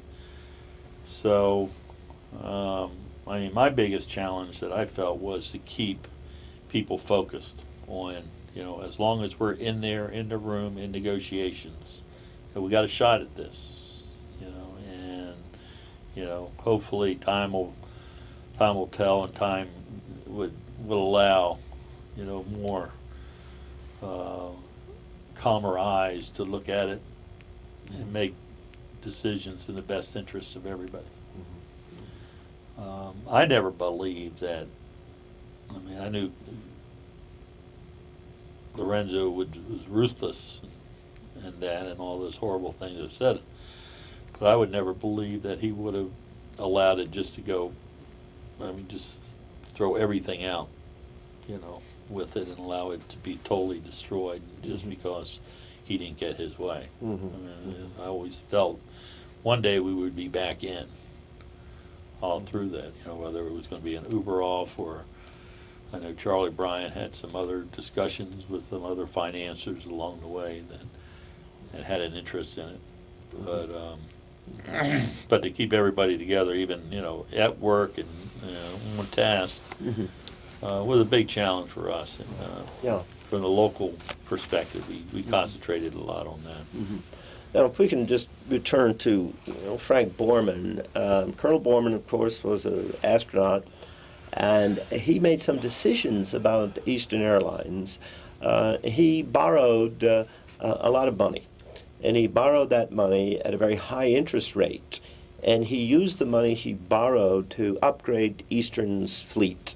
He bought uh, a number of Boeing 757s, uh, which were much more fuel efficient uh, than the current uh, aircraft in the Eastern fleet. I am told uh, that a combination of factors uh, impacted Eastern. Uh, number one, um, borrowing at that high interest rate and, and locking in at those rates.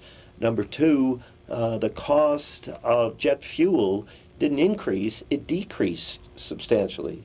So here is Frank Lorenzo with Eastern locked in at high interest rates that are not achieving the cost savings that he thought he would from greater fuel efficiency, and uh, their expenses to service the debt were becoming so large uh, that they needed greater revenue or to cut costs, uh, and Borman came to the unions and sought wage concessions. Do, do you recall those episodes with, with Borman negotiating with the pilots, negotiating with the flight attendants, and the machinists for wage concessions? Well, that and, and all that I think is, is around that same time with the wage concessions and finding other formulas to um, cost savings that could be returned to us in forms of increases. Um, now, I think the analogy that was used many times with Borman and that, and, and it was, he would always talk like he's second person. Like, well, the it's the banks. You know, I'm here because of the banks. You know, well, if you go to the bank and, and ask for a twenty percent loan, they'll give you a twenty percent loan. You know, but they're going to own you.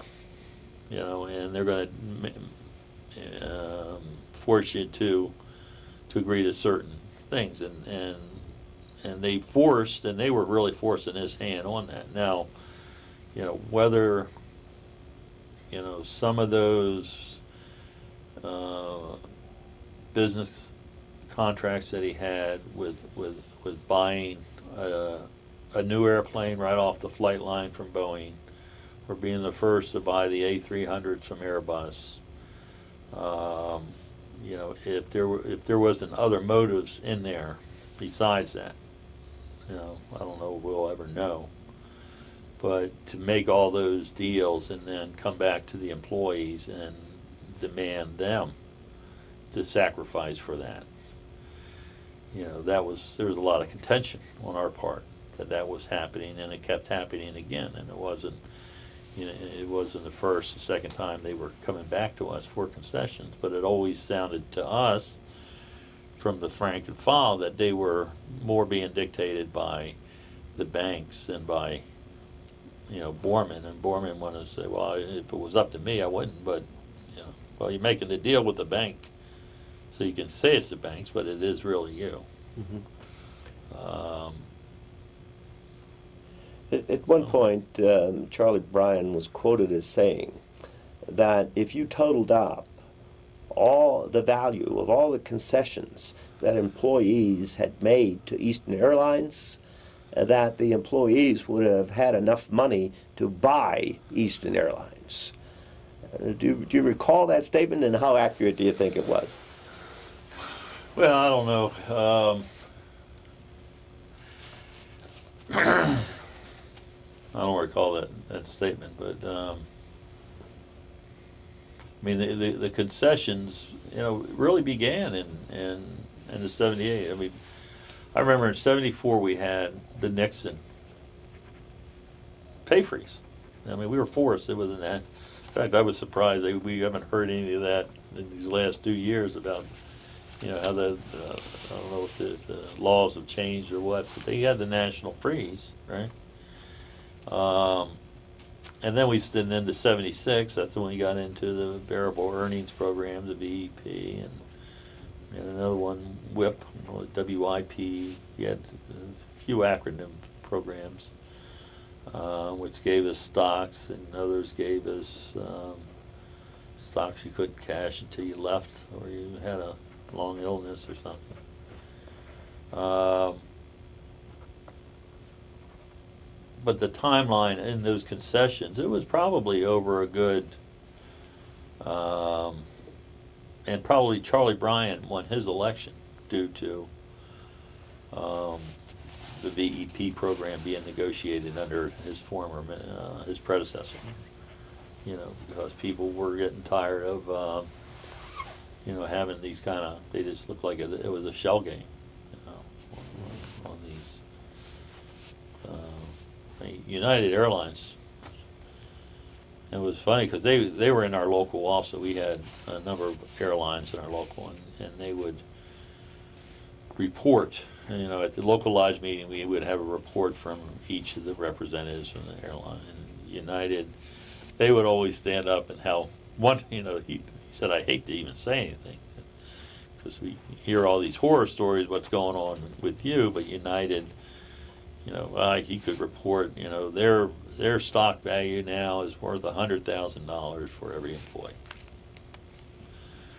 Well, you know, three years later, their stock value for every employer was worth thirty dollars. You know, unless you could cash it out when you quit. That's the only way you made money of it, and it just went right down the drain. Um, so whether, how many concessions did we give and if we could buy it? I don't know. You know, if that, that would be accurate.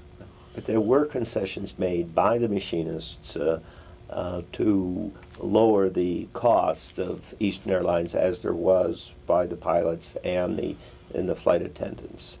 And my recollection is that uh, uh, Colonel Borman, Frank Borman, came to um, all the unions a second time, another time, and he was seeking additional concessions. And the flight attendants agreed, and I believe the number was a 15% wage reduction. And the uh, pilots agreed. And then Charlie Bryan, speaking for the machinists, said uh, that uh, the machinists had lost confidence in the leadership of Frank Borman. And if the board of directors at East Airlines wanted a 15% additional concession from the machinists union, it would come only after the resignation of Frank Borman. And the board of directors said that we are not going to uh, agree to such terms uh, that we run this airline, not Charlie Bryan. And uh, we're not going to demand that Colonel Borman resign. And the response was if the machinists failed to give the concession, they were going to sell Eastern Airlines to Frank Lorenzo. And so you had these, these two very strong willed individuals, Frank Borman and Charlie Bryan, with Frank Lorenzo held out as the bogeyman that if we don't reach an agreement, the devil is going to come and run Eastern Airlines. Do you, you remember those negotiations, uh, Mike, and the, the impact it had on rank and file workers that you represented at local lots? Well, I don't think we had the, that insight to that. Um, I mean, I certainly heard it after the fact, but when, when it was going on and, um, you know, it, knew it as a standoff at that point. Um, but when the name Frank Lorenzo hit, um, it, it just seemed so far out, out, out of the realm of reality that nobody thought that was a serious threat. We didn't, you know. And when it happened, it was, it was just shock at that point that it, it could happen. Lorenzo had acquired Continental Airlines and had taken that company into bankruptcy and used the bankruptcy laws to negate uh, the collective bargaining agreements and all the wage schedules contained therein. And it was seen as uh, an abuse of the bankruptcy laws. It was seen as undermining the collective bargaining process. And no one believed uh, that uh, such tactics would be used uh, at Eastern Airlines, such a well-established company where there had been this record of labor management cooperation and progress and, and being built to be the largest airline in the free Yeah. world. Yeah, and, and I mean, and uh, I think part of the shock was that we didn't believe also that the that the government would stand by and, and certify such a transaction as that.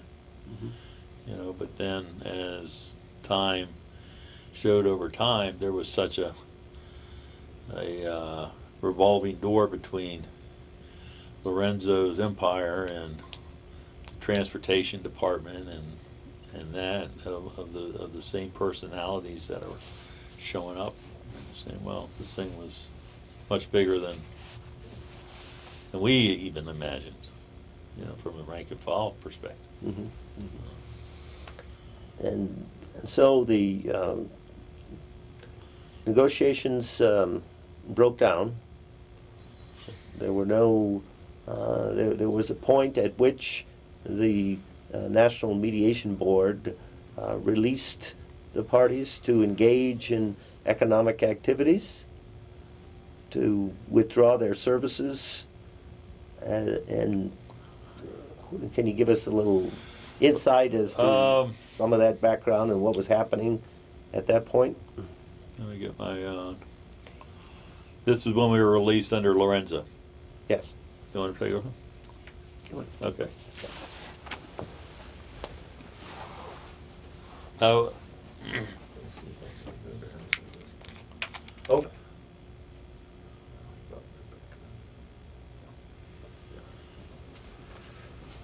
All right, very well. So, Mike, uh, you had told us that uh, a contract had been negotiated and ratified in 1983, and then it was set to expire. The uh, amendable date would be in 1986, and then that was the year uh, that uh, Frank Lorenzo uh, purchased Eastern Airlines.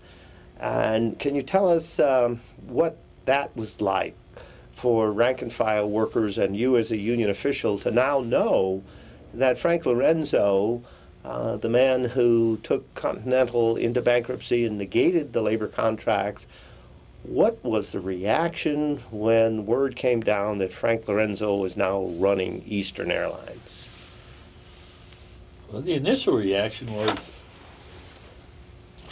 one of unbelief, but he he was really an unknown to us. So you, know, we didn't really have a lot of knowledge of him, um, except what he had done with Texas Air. And, and I remember the night that um, the announcement was made, and people would come to me, and I said, "Oh well, that that just didn't sound like that. You always hear rumors. That always rumors always float." And said, "That sounds like a, a rumor." But I'll look into it. And when we started looking into it, we started seeing, well, no, this is this is for real. And and his track history doesn't look pretty. Uh, but we have to wait and see what you know what's going to transpire here. And um, eventually, we started seeing. We started seeing um, the um, the movement of assets from Eastern to, to Continental. Uh, the routes, the closing of certain stations, the transferring of gates. And we started really observing over the next year and a half the, the systematic uh, dismantling of Eastern, of seeing a lot of the valued products that Eastern had and resources that they had being shifted um, under this entity they call now Texas Air Holdings. Um, our reservation system was the one of the biggest uh, slaps that, that a lot of the Eastern employees felt because it was a hundred million dollar system. Um, they sold it for ten million dollars, and they and they leased it back at ten million dollars a month to Eastern to use. And just the simple math of it said, well, wait, why doesn't people see what's going on here? You know, what this is this is uh, you know people used to say, well people used to be put in jail for doing stuff like that. you know, but apparently everything, it being uh, a decision made by the Texas Air Corporation of how they want to utilize their subsidiaries, made it a legal transaction as far as that Lorenzo was concerned. But as we saw it, and as not only as union members, but employees of Eastern Solid, um, it was resources and it was a, a, an industry that was built by the, the, uh, employees just as much as it was, uh, the investors had, had invested into it. Um, and, and seeing that, and seeing the way that, um, Frank Lorenzo was treating, um, all of Eastern Airlines, um, and I used to say that, I, I said it many times, he was probably the best uh, union organizer we had. Because he realized, and he made people realize that unless um, we were in this together, we didn't have a chance at all, at all. Um, and that's how we approached it in, you know, moving forward of supporting our negotiating committee who has been put in place. Um, they were going through, through, uh, the process of, of meeting, um, as, uh, they brought in the National Mediation Board. Um, I think there's many times that, um, a union would call to be released, um, somewhat early in negotiations. That didn't, that wasn't place. That wasn't what, um, the strategy of our negotiators was. They were, they were realizing we weren't prepared at this point. We had to see this thing unfold before we could ask for that release. Um, in fact, the company was really, was too anxious to, to want to be released, which was in itself gave us pause. Um, but while all this was going on, there was other aspects that we felt, and our, even our, our skilled mechanics were starting to be concerned about, um, some of the way the air, airplanes were being signed off and allowed to fly, um, in ways of, um, they weren't allowed before to be properly, uh, maintained. Um, they allowed certain things to continue to fly that, that under older days, they would have been grounded until they were fixed. Um, we put together, uh, a couple committees, one a local in Atlanta and also Miami of a FAA Safety Oversight Committee made up the rank and file that was, um, compiling the data, um, to bring to the FAA to, to let them know that this isn't just um, crying wolf. These are some, some serious uh, concerns that the mechanics have. Um, The FAA did get involved in, in that. They ended up um, fining um, Eastern during that time over a a nine point something million dollar fine uh, which was, at the time, was the highest fine ever uh, levied on uh, an airline um, because of their shoddy maintenance practices. Uh, So these are the kind of things that, that we felt that, um, you know, the, the public needs to know about, they, they should be aware of it. Um, That somebody that comes in and, and just, you know, wants to extract the, um, the valuable assets out of an airline and, and let it go and, um, there's a price that's gonna be paid, you know. Now, we worry about our safety as much as the passenger safety, our families fly on these airlines and that, you know, we don't wanna sign up as, uh, sign off airplanes that uh, shouldn't be, but people were literally getting, uh, disciplined for not agreeing to sign off uh, aircraft that, that they felt wasn't serviceable. So, um,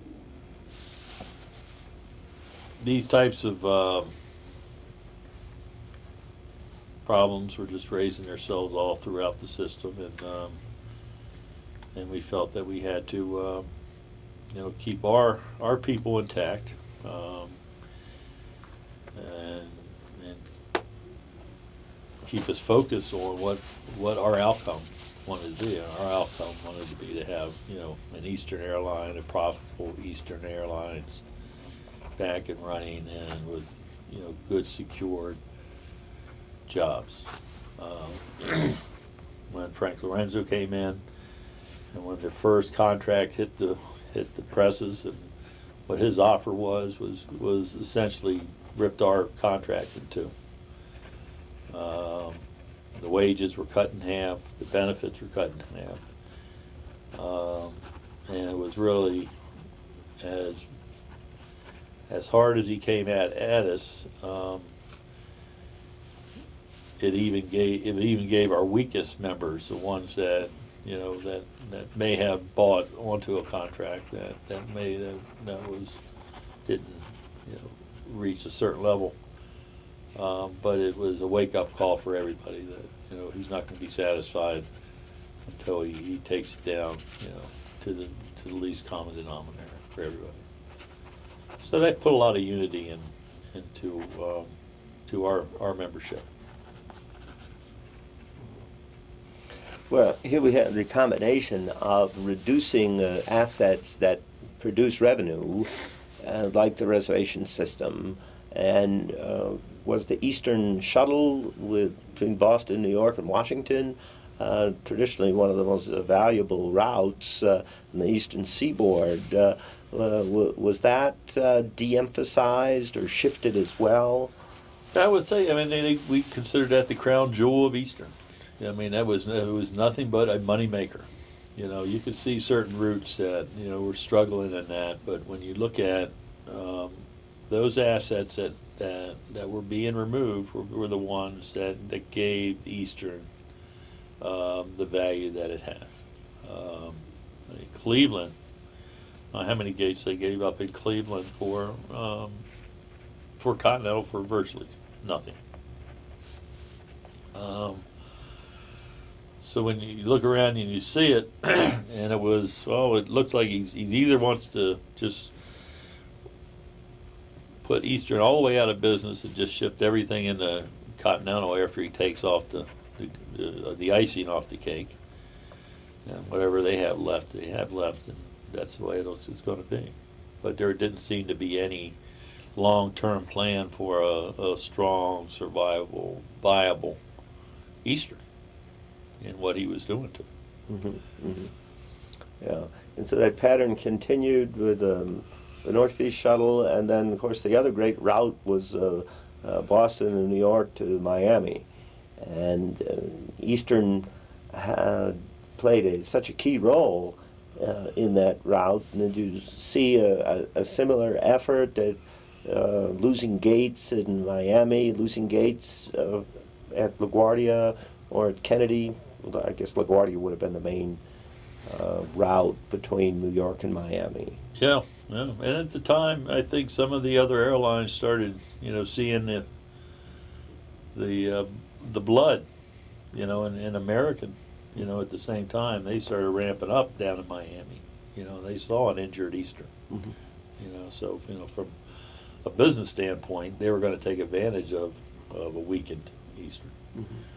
Um, and you know, as time goes on, you know, there really was not an effort um, on the part of management's part to try to, you know, regroup and, and come up with another strategy to rebuild. It was just taking this, you know, to wherever it was going to end up anyway, Mhm. you know, down. Um, I don't know at what point where. Um,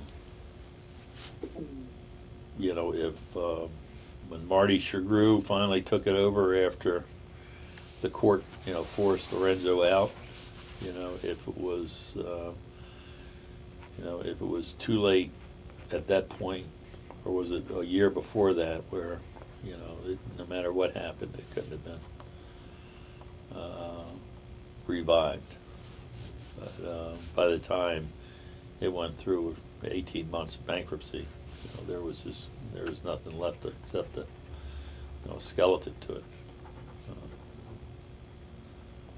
But all through it, I mean, our people, it was, uh, uh, by and large, we stayed optimistic, you know, hoping that, you know, um, better minds will solve this thing at the end, you know, and comes, come to senses, but, uh, uh, it didn't happen.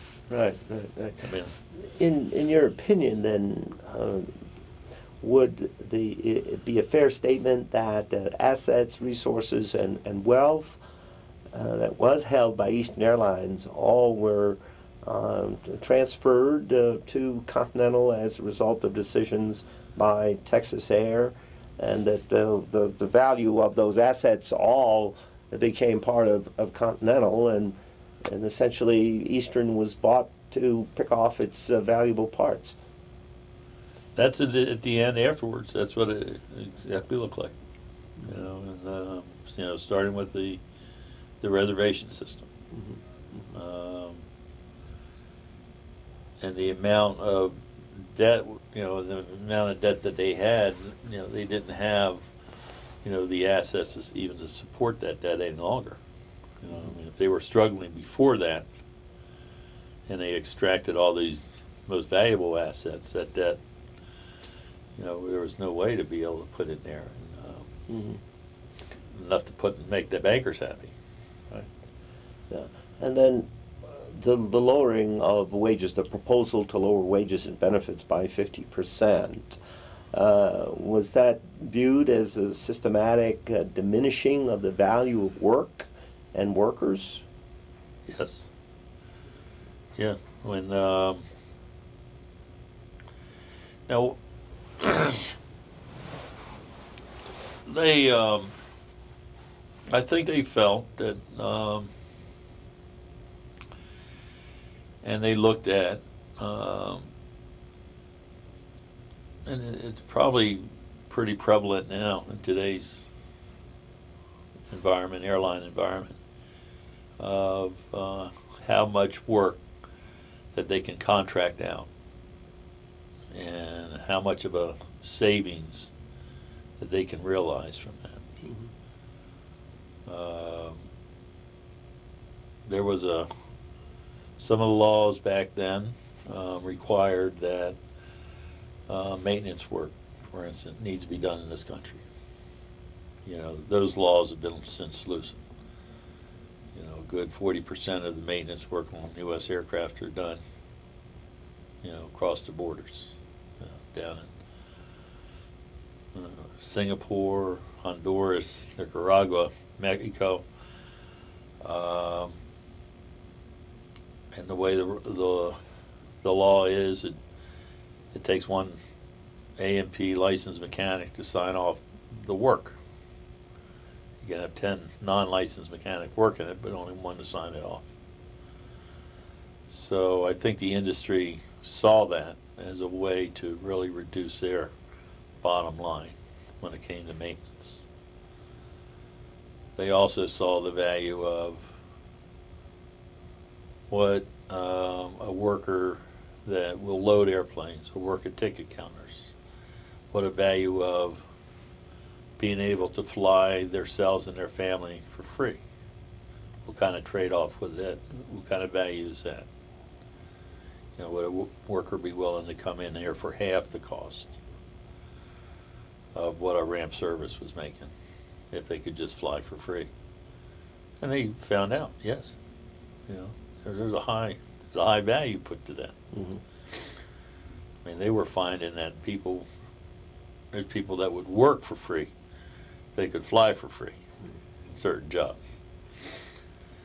Yeah, so, um, now, you know, our members, you know, they, they built the industry to where it ended up at, you know, and, uh, you know, to just be dismissed as that is just, uh, you know, well, we can just, you know, charge to the bottom of the pay pool and replace you, you know, by putting these other incentives in there. Um, you know, it was, it was an insult to them and, um, something that they, you know, wanted to protect. Were there any efforts by the board of directors at Eastern Airlines to protect the assets, to protect the viability of the corporation and the value of its stock from these efforts uh, by Frank Lorenzo to bleed off assets? You know, I, I don't know if, if they had the, um, I mean, I, I would answer first, I don't know, you know. I, I just don't know what kind of conversations took place there. But I don't know if any of them had, um, much of a, a, a say into it, just by the base of how much Texas Air Holding Company held of all- the, the value of the stocks. Yeah, I think by and large, they were the vast owner of, of it all, you know. And, um, I think that would be an interesting project to try to include in the here. You know, What kind of conversations did they have? Mhm. Sure, yeah. Uh, So the, uh, the contract became amendable in 1986, and uh, the proposals uh, were to slash wages and benefits, and um, my understanding is that employees rejected those proposals out of hand, that they weren't the industry standard, that they had no basis in, in reality or the going wage rates for those positions represented by the IAM. Can you tell us a little bit about uh, the dynamics of, of some of that, uh, of those proposals and employees' reactions? Well, we have, um, under our constitution, we have, um, had to bring that back to the, to the employees, to the members, um, to vote. And you have to, you have to have two votes. You have a strike vote and a vote, uh, to accept or reject a contract. And we tell them when they do that, if you, if you don't vote to strike, and you don't vote for the contract, you voted for the contract. And you have to, it takes sixty-six percent under our constitution to be able to, to, to strike. Mhm. Um, we held our, um, uh, we held our strike vote, it would be, we- once we were released, we would schedule the strike vote, so it would be three weeks before the, uh, about three weeks before the, the actual date. And it was a, um, like a ninety-three percent plus on both of them, strike and reject contract. Know, So it was, um, and we had all-day informational meetings, the negotiating committee came in, explained each, uh, of the changes point by point.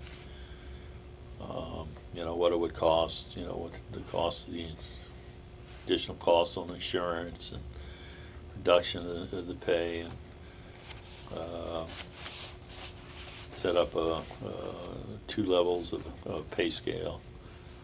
So it was just, um, you know, thrown out, just, uh, just rejected over, overwhelmingly. You know, People said, you know, well, I'm not gonna work for that, period. Right. Yeah. And when we went out, we had here, um, every, we had a hundred percent walk out. Um, We had about seven of them that we identified over the next month or so that went back in, but that was about it. Uh, So seven uh, who crossed the picket line and went back in, Right. uh, out of how many employees?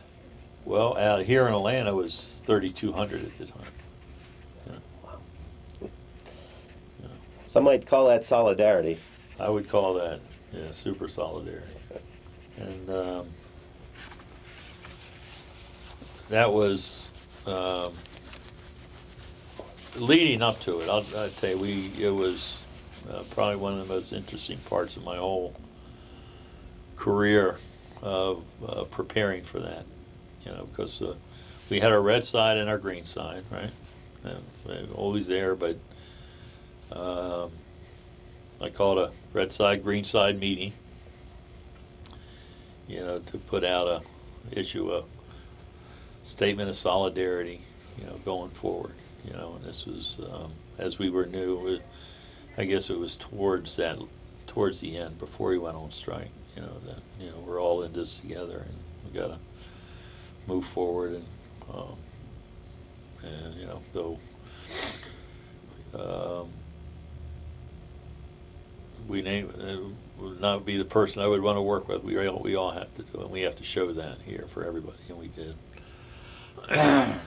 we took full advantage of having a city council here that understood rights, basic rights, uh, civil rights. So when we applied for our picketing uh, permit, we identified every cranny and corner of the airport that we could think of, of where we should have a picket, which included inside the concourses, at the top of each escalator at B and C, top of each escalator there, um, outside of every door coming into the eastern. Um, every gate surrounding it. We even got a permit to have the field across from adjacent to the hangar. And we needed that because our local was in Forestville. We said, you know, we're gonna be transferring, transporting pickets back and forth the air, airport all day and night, you know, and, and we just need a more of a centralized place to be able to congregate and, and move them around. They gave us everything we wanted, and um, that was, I guess, that was uh, Mayor um, Maynard Jackson.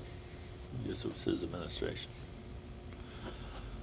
Um, which we ended up you know, building a tent city. In effect, were you familiar with that over there? A tent city that we had over there, and you know, right on that land. Um, and it just drove Eastern just absolutely nuts, you know, because it was it was man day day in and day out, and we ended up having you know bands come out there and family days, and hot dogs, and just kind of grew. Um, and um, but having that and then being able to um, you know keep the people a place to keep them centralized keep them informed and that was um, you know very helpful for the initial strength of, of, of the picket line um,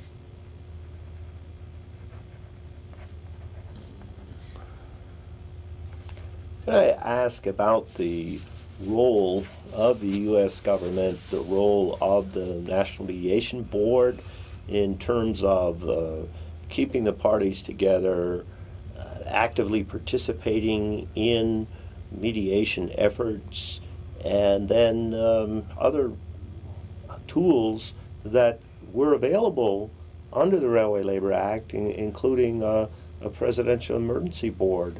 Um, How did any of those things uh, play into the negotiation with Eastern and the machinists?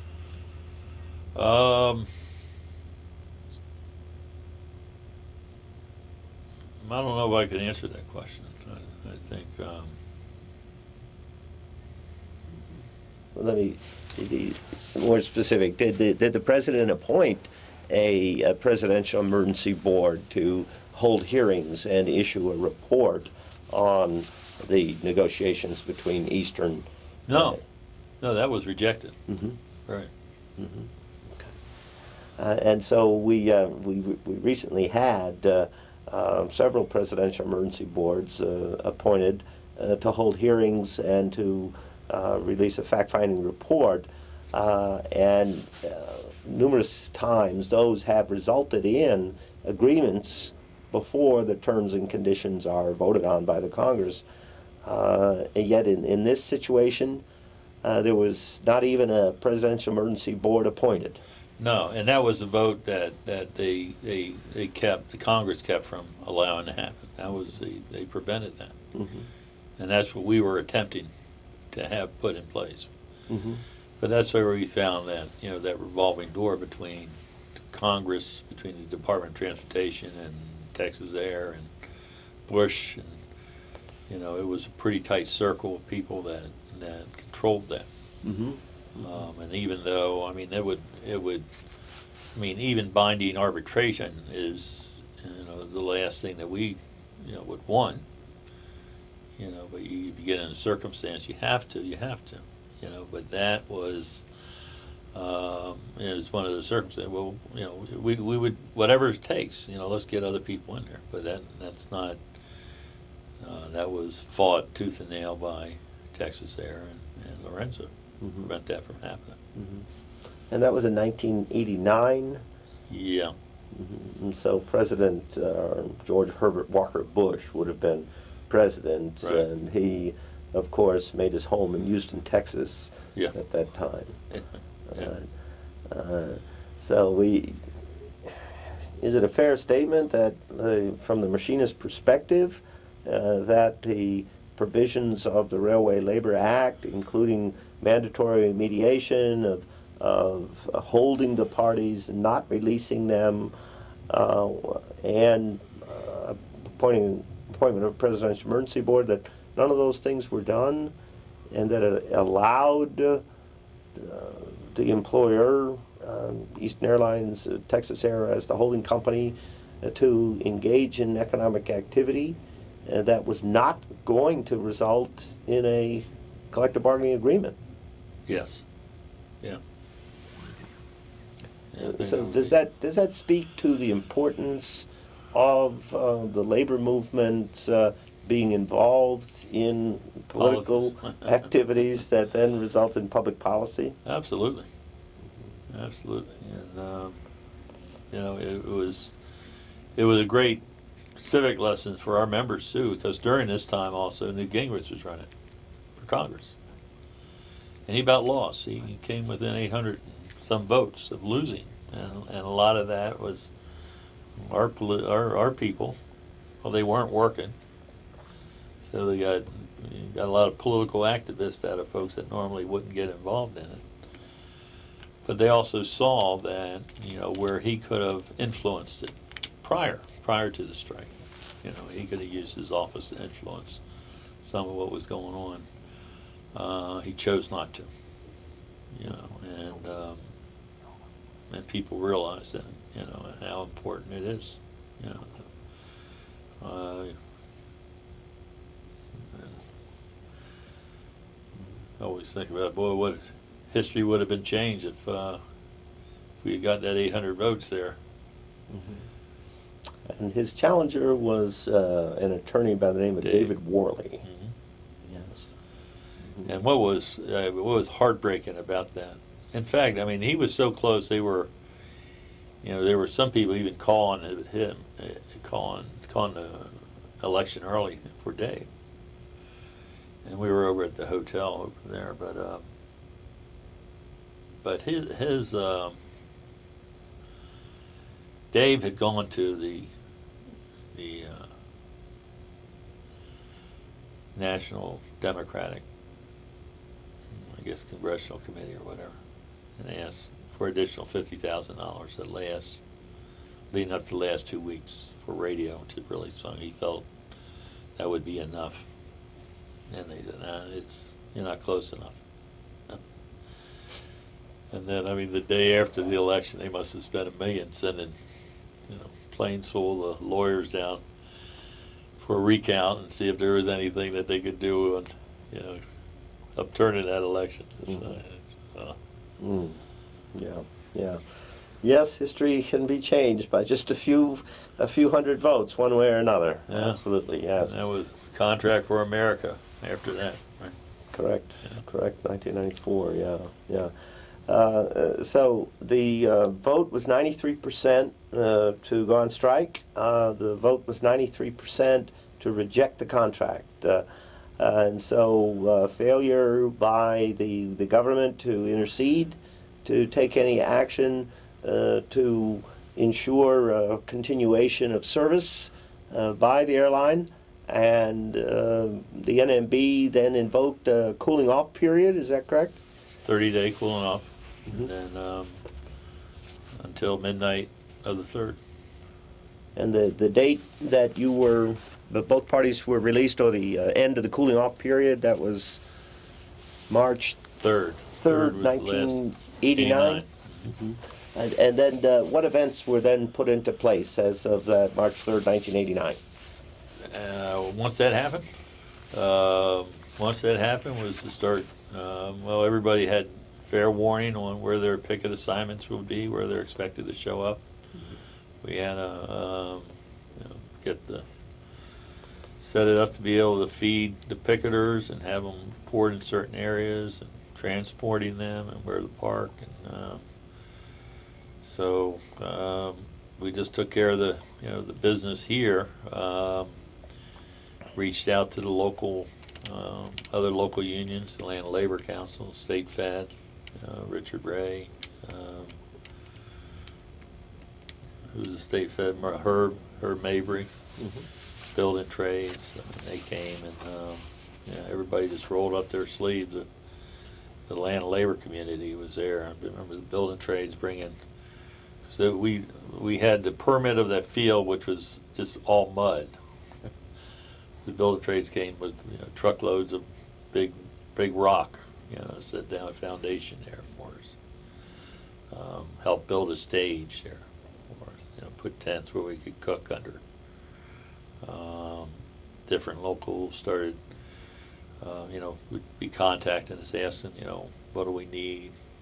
And if there was any jobs that were available, the IATSE folks, they had contracts at the convention center for these uh, uh, big trade shows and that.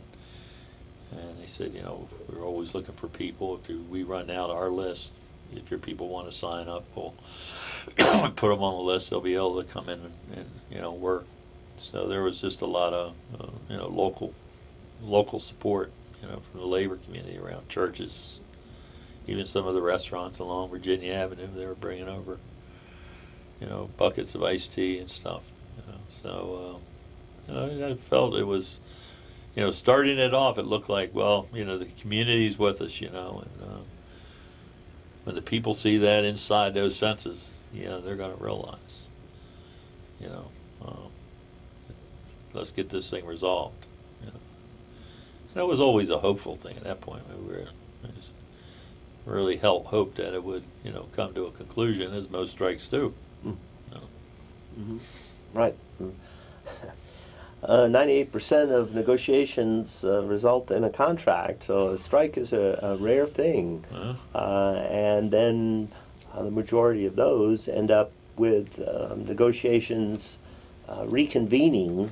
And were, what were the reaction uh, after the display of community support and solidarity from other labor unions? Uh, were there any, was there any movement uh, on behalf of the company to uh, recommence uh, negotiations? No, they, um, you know, they shut they shut down the operation, and um, they started putting together their startup plan, and um, they kept you know the the public aware of their you know their startup plan, and um, I think they were going to launch it in early um, April. You know when the the flight attendants and the pilots walked out, and um, so they had a they had a regroup after that also.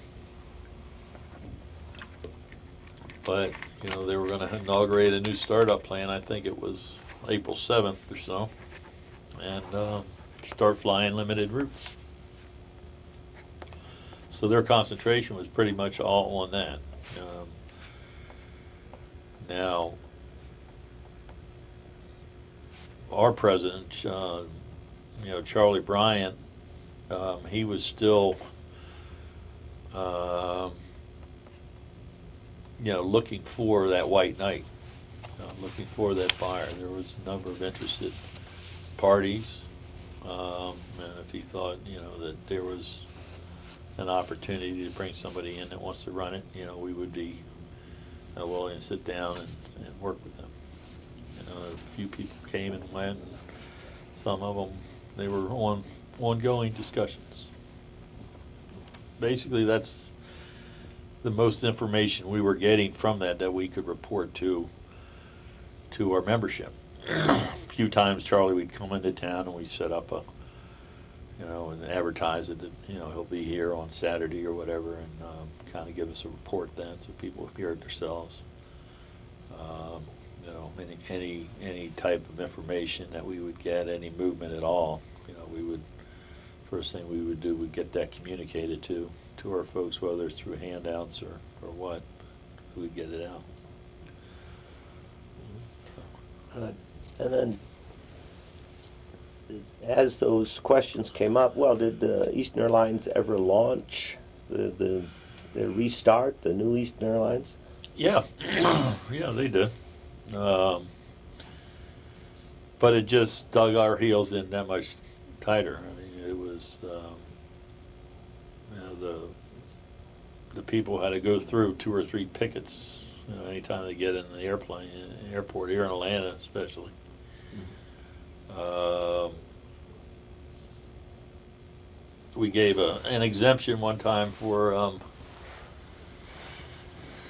for the mayor because the the national the international olympic committee they were reviewing all the different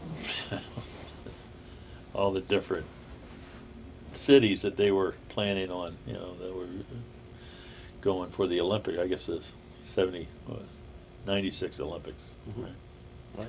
they hadn't ch- they hadn't yet chosen it you know so they were trying to showcase the best of atlanta and they needed to and it just so happened it coincided with Jesse Jackson coming down, and, uh, and we were having a prayer session in front of the Eastern ticket counter. and uh, he marched us over there, and then he said, "Everybody kneel," and everybody knelt, and, and the Olympic Committee came through, and there was. I don't, I don't know. Maybe the prayers got us to the Olympics there. Yeah, yeah. Uh, so take us through that uh, timeline then. Um, Eastern launches and people have to walk through picket lines. That how long did they continue to operate before um, Eastern Airlines shut down? Well, they they shut down um, at the end of. I guess it was in January of '91. Was the final shutdown. It was bleeding. Everybody knew. I mean, there was just. Um, I don't think it was any shock when it ended up shutting down. It was more shock that they were even able to start up and get that, but they just couldn't get any traction. There was um, the um, you know their plans, their um, uh, putting together a viable plan to get out of bankruptcy uh, kept on being delayed and delayed.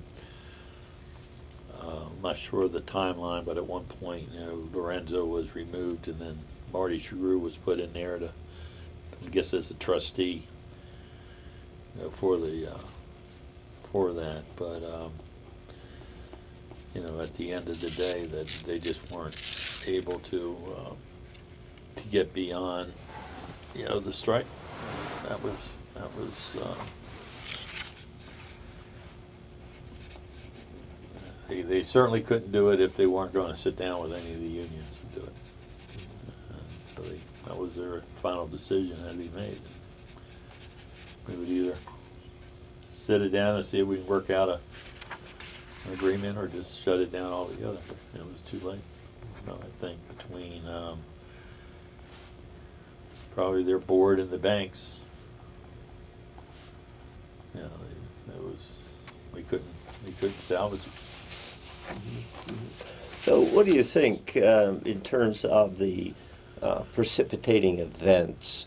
Uh, was it uh, more the bleeding off of assets of Eastern to uh, Texas Air as a holding company uh, that then rendered Eastern almost incapable of operating a, a successful, profitable airlines? Um, or, you know, some people have continually tried to blame the unions that if they had only had agreed to cut their wages. If they'd only had agreed to something, then Eastern Airlines could have been salvaged. Uh, what is your, your thoughts on those opinions, Mike? Oh, um,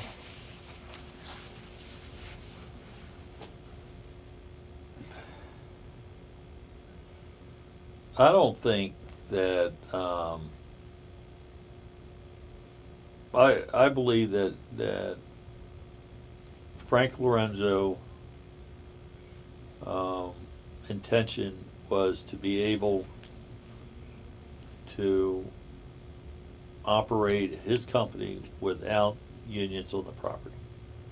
And that if he had taken the drastic steps that he had taken, would be enough for the unions just to throw in the white towel, and that would be it. And he would be left alone and could do whatever he wanted.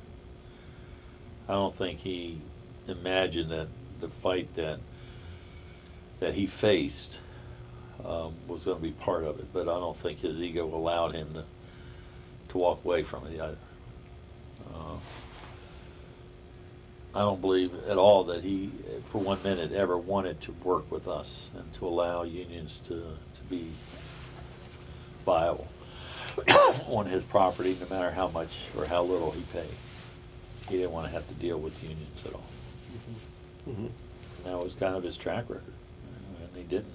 You know, now, funny thing, I mean, now they have, you know, some, Continental's pretty successful these days.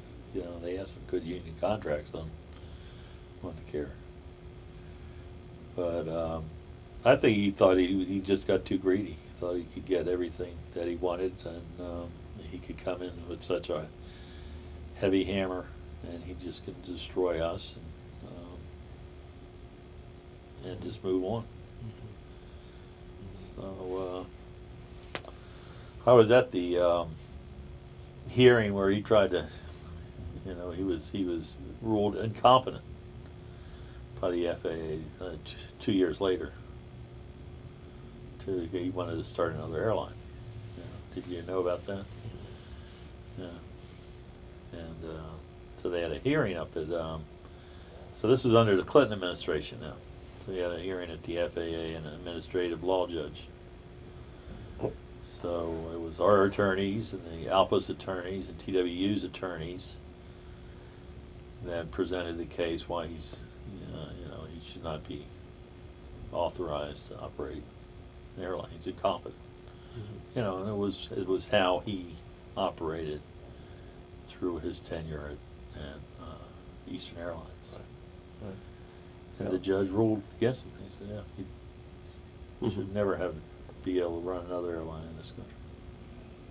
Uh, he had been uh, the head of Eastern at the time that the FAA imposed, at that time, the largest fine in the history of the airline industry for some of the um, substandard safety practices that he had directed employees to engage in. Pencilwood. Yeah. Right. So now, as we talk about the airline industry from a broader perspective, and, and Lorenzo said he didn't want to operate uh, with unions, uh, yet we have examples in the airline industry where some of the most heavily unionized carriers are some of the most successful. And of course, I'm speaking about Southwest Airlines. Uh, but has the uh, and recent you know uh, startup uh, discount carrier AirTran Airways has uh, seven collective bargaining agreements. So those two are you know in the process of merging. Southwest has bought out AirTran, but they are very heavily unionized. Uh, so from your perspective, is the determinant of profitability and success in the airline industry the rate of unionization, or are there other factors that determine an airline success? I think there's certainly other factors. Um, I think one of the benefit of, of unionized, and, and for, not only for airlines, but for, I think for all industry. You know, when, when you're paying a good livable wage and your benefits, um, people have an, have, have an interest to stay at those jobs. And as you stay at a job longer and you have that experience longer, it just inherently gives a better product and delivers a better product for whatever industry you're in. Um, I see. I mean, even even on safety, even from viewing things from a safety standpoint. Sometimes it's it's scary. In my job today, I go out and I see all these uh, across every sector of our economy, pretty much, and see. And a lot of what the airlines have done and the way they converted those jobs to. You go out here and uh, Hartsfield, and you see, you know, all the north uh, north cargo buildings all the way down. Well, it, it's one big rotating door, you know, where people come in and they'll work for a month, or two months, or three months, and then they're out. Well, yeah, they can load an airplane, you know, but can they load it, you know, properly? You know, do they do they have that consciousness of safety that somebody that puts their family on there every day? You know, um, you know are they going to you know provide those kind of services that um, you know they have a, an investment in, you know, to making sure it's done right. But having you know just workers that well, if you don't want to do it, you know, there's a line mile long waiting to step in here and taking your job. Mhm. You know, that's the kind of country we want to get into. You know, more and more, that's some of these jobs are turning into that. Mhm. Um, I think you um, you mentioned um, Southwest. I mean, Southwest. I mean, their their whole model is different than than most of the industry out there, but a very successful model. It's, it's really people driven. You know, it's driven you know by the by mainly by the workers. You know, well, the ticket counters and the flight crews and the, and baggage handlers. They can turn these airplanes around in 20 minutes. You know, fill them up and move them on, and people are happy. Mhm. You know, um, people do make that one work. Mhm. Right. So the, the competition is based on uh, the skills of the workers, uh, their dedication to their job, and the craftsmanship that they bring to producing a product and level of service that consumers are pleased by and willing to pay for. Um, if I could just ask you about some of the things that you saw and experienced as uh, a leader of that local lodge in Atlanta during the, the strike uh, against Eastern Airlines, as far as what people experienced. Uh, initially, there was some euphoria of the community support and other union support and uh, city government here in Atlanta. And then as time went on, um, how did people react? What, what happened to, to people in their, in their lives as a result of that strike? Well, I think one of the first things I recognized as time started moving and the months started adding up is the the members that had the skills jobs. Um, were the ones that found the easiest to be able to find other jobs. Huge. Probably ninety percent without a problem finding. I mean, it may- not necessarily turn wrenches on an airplane, but they had enough skills to be able to do, convert into other industry.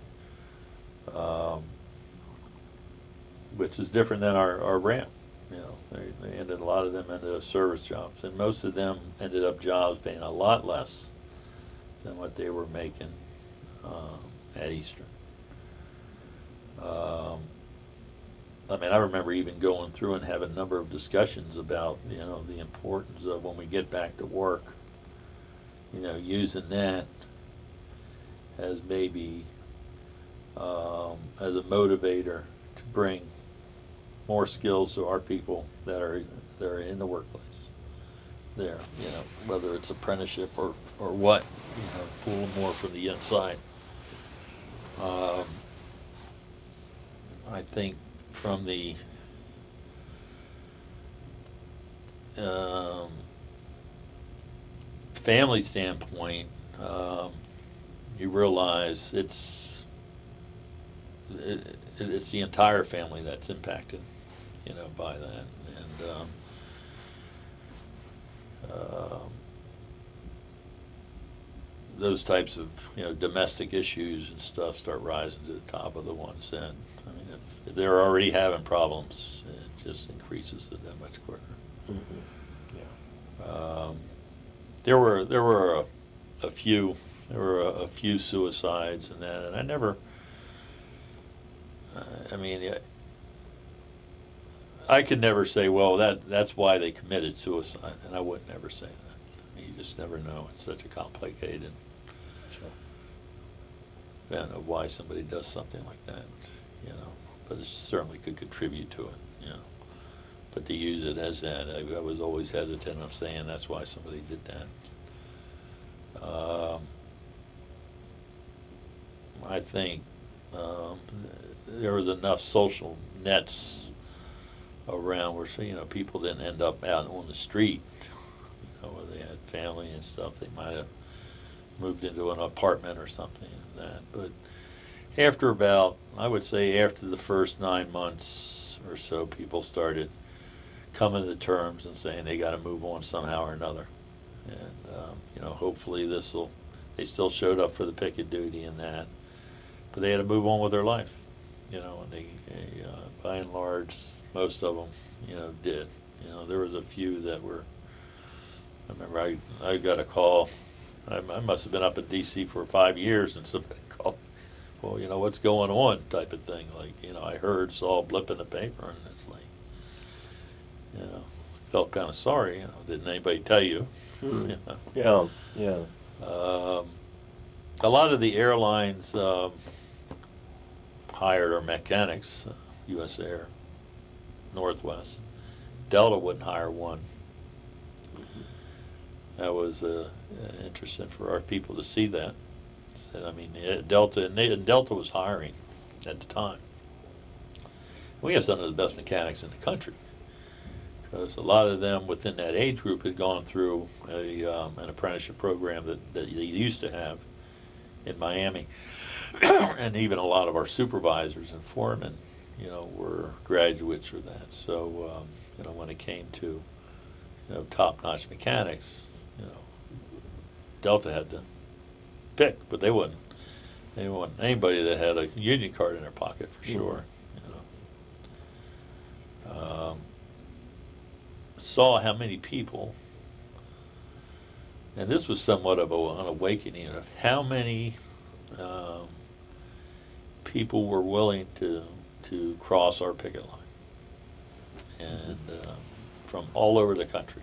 I mean, our our hangar parking lot used to fill up with tags. I mean, I remember seeing tags from Hawaii. You know, and um, coming in and paying them. I mean, they were they were paying them half what they well we were getting paid. You know, crossing the picket line, it didn't work. That was somewhat of an awakening. Um, I think the um, the city it started getting worn out, you know, with its good feeling towards us and support of that. You know, there was a lot of pressure coming in, you know, from from other industry and that. I guess, you know, when then we ended up up in the you know bankruptcy court. Um, in fact, the bankruptcy court took away our rights to picket, where we remember I told you about the Sure. the application. Well, they Mhm. took it away. Hmm. And um, we appealed it, and the week after Eastern shut down for good, the appellate court ruled in our favor that the bankruptcy court did not have jurisdiction, you know, to, to step in on, um, on uh, picketing Right. rights, you know, which was a good, which was a good win for labor. You know, Right. It didn't do us a lot of good, but it, Mm, right. for labor. But um, I think going going into it and um, utilizing you know the best that we could with the city and and um, you know having that having the civil rights history here and knowing that we're dealing with folks that understand you know that um, how people want to keep you keep you down Mhm. Uh, certainly helped us but there was a point there was a tipping point there over time Sure. you know people get worn out Yeah.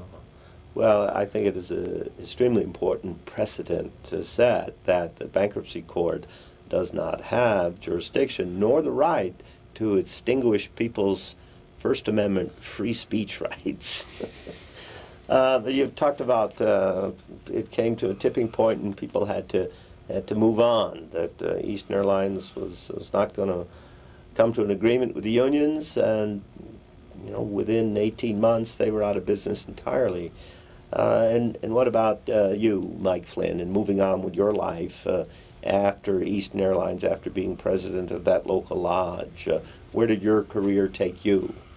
Well, it was. Um, well, see that job at the at the uh, that I had. It was it wasn't a paid position. The president's job was not a paid position, and it was. Um, but part of our bylaws, it gave it, it was a, a two it was two hundred dollars a month, and I would be um, well. I, actually, it was it was no, twenty, yeah, two hundred dollars a month.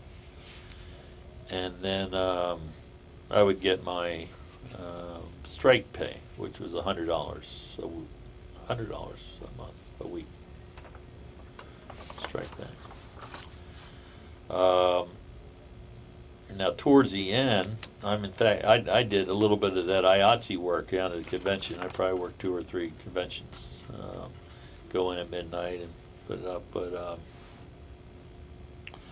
during that time, there was a bill, and I think it was in '90, the striker replacement bill that was um, trying to get through Congress, and the machinists, uh, each of the unions, um, we were assigned through the AFL-CIO, different states.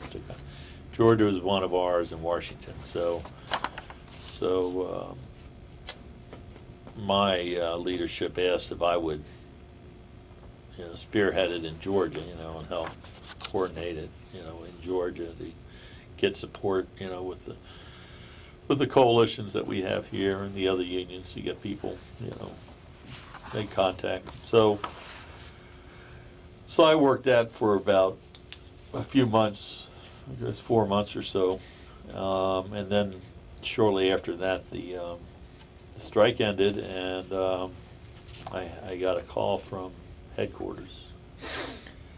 Um, and they said there's a job up here for, um, it's under a grant in our safety and health department.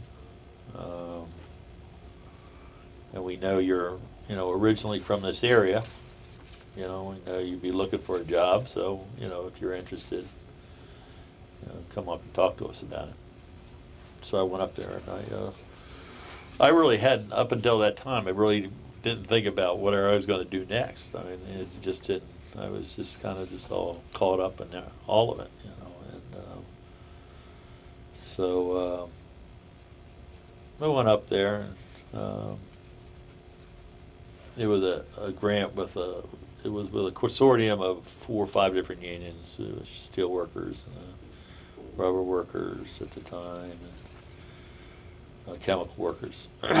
To um, it was funded through the Superfund and clean up um, protected members that, that work with hazardous chemicals you know and teaching in 40 hour courses that, um, so they brought me up there on that and um, I started working that. And um, that was in 91 May of 91 um, we had a number of other grants under IAM CARES at the time, which no longer exists, but um, they received a lot of grants for um, like project with industry, uh, helping people with disabilities um, find jobs. And they had different offices throughout the country, uh, two hundred employees. Um, and, um, so that was actually who I initially worked for, was under the CARES. And then my boss, who was the- my predecessor, um, he made, appointed me the, his assistant to the president in ninety-five, and then when he retired in ninety-six, I was, um, given the full reign of the department of, uh, s- of the safety and health department, and the apprenticeship department is, was in there. Uh, the community services department was in there. And I am cares. Well, IAM CARES, um, was a huge project that most of the IAM CARES money was from grants, um, funds.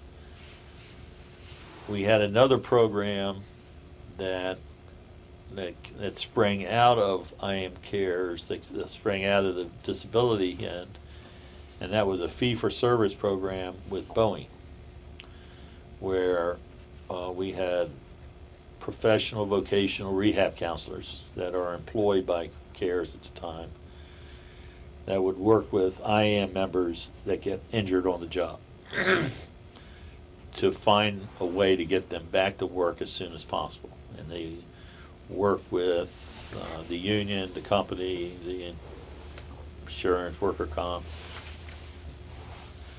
Um, and they're finding an accommodation that. Well, that entity is run by, it's, it's a nonprofit, separate nonprofit, five oh one C three. And that was IAM CARES. So when I took over this job, I became president of IAM CARES. And shortly after that, we split that cares to just handling our safety training and the vocational rehab fee-for-service program for Boeing. And we call that IAM CREST. So currently, I'm the president of IAM CREST, Director of Safety and Apprenticeship. Now, Crest, we have, I brought in a lot of other grants into Crest for worker training grants. Um,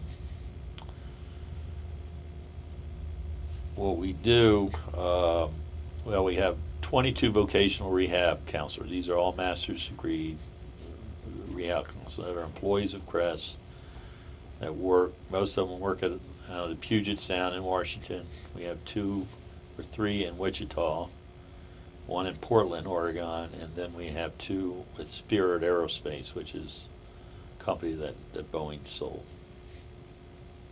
So we have that group of employees. Uh, I found working with grants that um, the good thing for the union in working with these grants is that under IRS rules that we can use the money, any profits that we make, as, as long as we deliver the same services with those profits. So if we're teaching people how to protect themselves with hazmat, and any money that we generate from that, we can take it to a local or a district and offset the cost of staff pay to train them. So during the days where, where, you know, times that money's tight, it's a funding source to be able to provide safety training to members that normally would not receive certain training. You know, or they work for a company that won't invest in training, but they need it. So, um, now we have, um, we have the, the Boeing Return to Work program, um, the Spirit Return to Work. We have a grant with the Department of Transportation to train airline workers that handle hazardous materials, loading and unloading um, aircraft, uh, and the proper way of doing that. And that's, um, and mainly we're training, our, our grant is to train our members to train the rest of the member, the rest of the workers. So it's like a train-to-trainer thing. So we're at United Airlines, Alaska Airlines, we were at Northwest, um, US Air, Hawaiian. Um, we still have our consortium with the chemical workers that train our members that work around hazardous materials, proper emergency response to that. I have a grant with the uh, Black Car Compensation Fund in New York City that that that we train um, limo drivers in New York City. Um, the National Safety Council Defensive Driving Course. A six-hour course, plus we add a two-hour stress, dealing with stress course on top of that.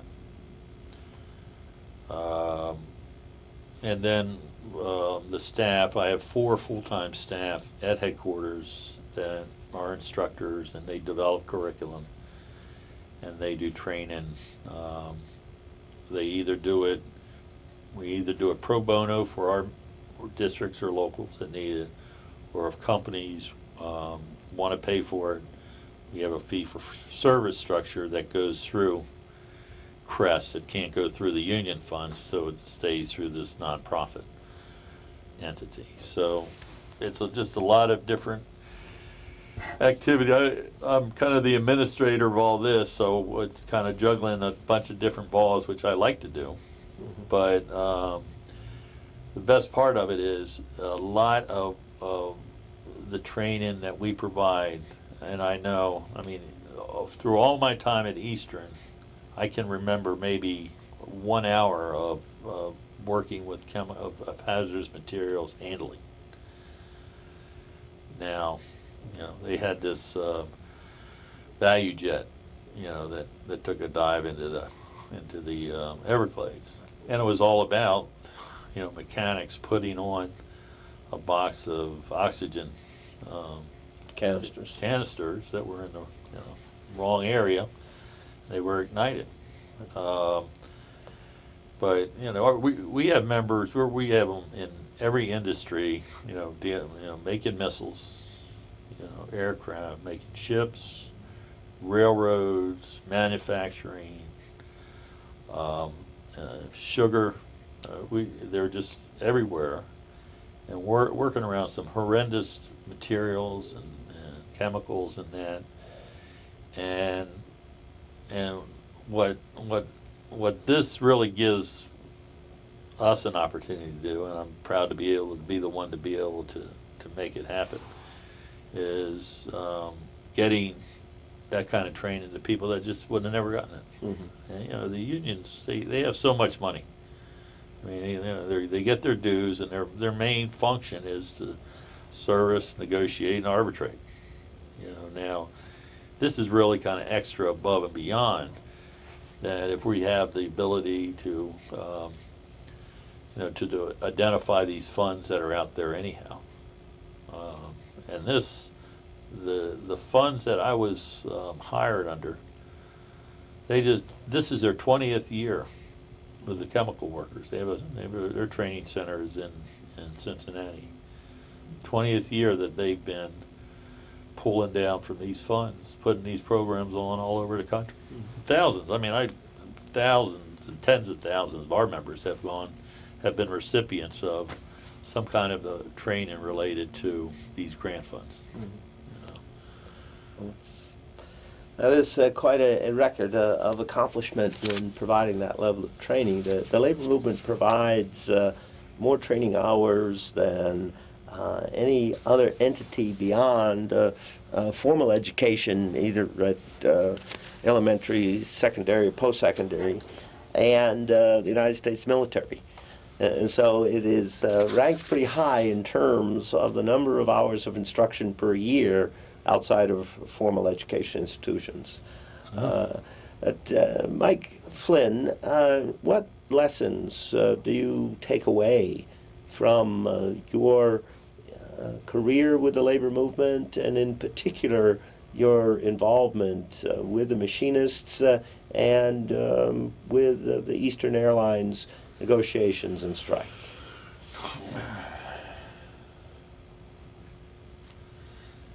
Well, the one one lesson I have is I, if if I try to planned this out when I was 18 years old and what direction my life was going to take me, it would have been impossible to do that. Um, I think it, it's the war with labor management is just ongoing. It, it'll always be there. Um, I always look for people within our movement um, that are in it uh, for the right reasons, that are in it not, you know, for their own ego or for their, um, certainly don't get rich, um, but are in it to, to be able to contribute to the betterment of, of others. And the labor movement gives us that opportunity to do that.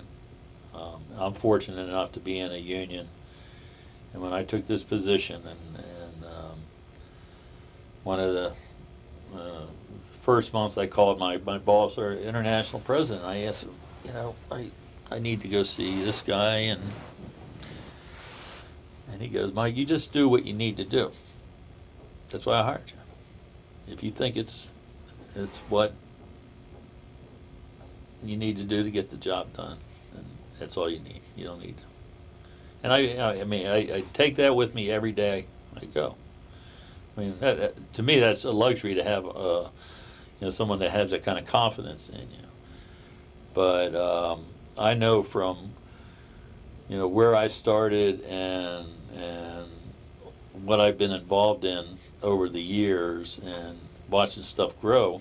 Um, and it grew because I mean, not me. You know, I was part of a bigger part, but of uh, a lot of the people that you know came along the way, and I saw, you know, that that, that could contribute. Um, it's it's. Uh, I don't know how I would feel if I, at the end of, or at 56 years age, where I am now, that, um, and I took a career path of a, of a, of a Frank Lorenzo or somebody that, that, based, you know, my success on, you know, whether my, what my portfolio was or my bank account was, of, of what that would do for me. I would, for me personally, it may not do anything to me. For me personally, it would just be somewhat very empty. You know, but looking back and saying, you know, you never know, especially in safety and health, if it, if it made a difference. You, know, you, you don't. But um, you, I, I certainly have to assume. I have to assume that, that um, you know, people lives are better today for you know some of the work that I've done along the way, and um, you know, no, you know, I'll never win all the battles, and certainly Lorenzo taught me that one. You know, but um, you want to look back and say, well, at least I fought a good fight. You know, and I did it for the right reasons. You know, it wasn't just about me. You know, so yeah, people people get hurt and families uh, get divided and all that through it, but. Um, but all in all, you know, I don't think I would have. Um, I couldn't have seen it going any other way, throwing in the towel with him, or just walking off. So I, I feel I, I feel uh, very grateful actually, you know, just that I've been able to have a have a career that and I've contributed something. You know. So, be able to say that, feel good.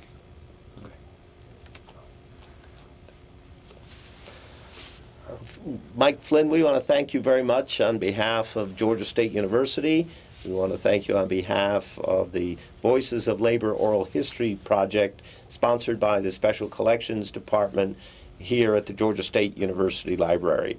Uh, this interview will be reviewed and eventually posted for students and researchers here at the Southern Labor Archives. So again, our thanks for you to be willing to sit for an interview as part of the uh, Labor Center's uh, Oral History Project. Thank you. Now, usually I would say, is there any, whoops, I guess I better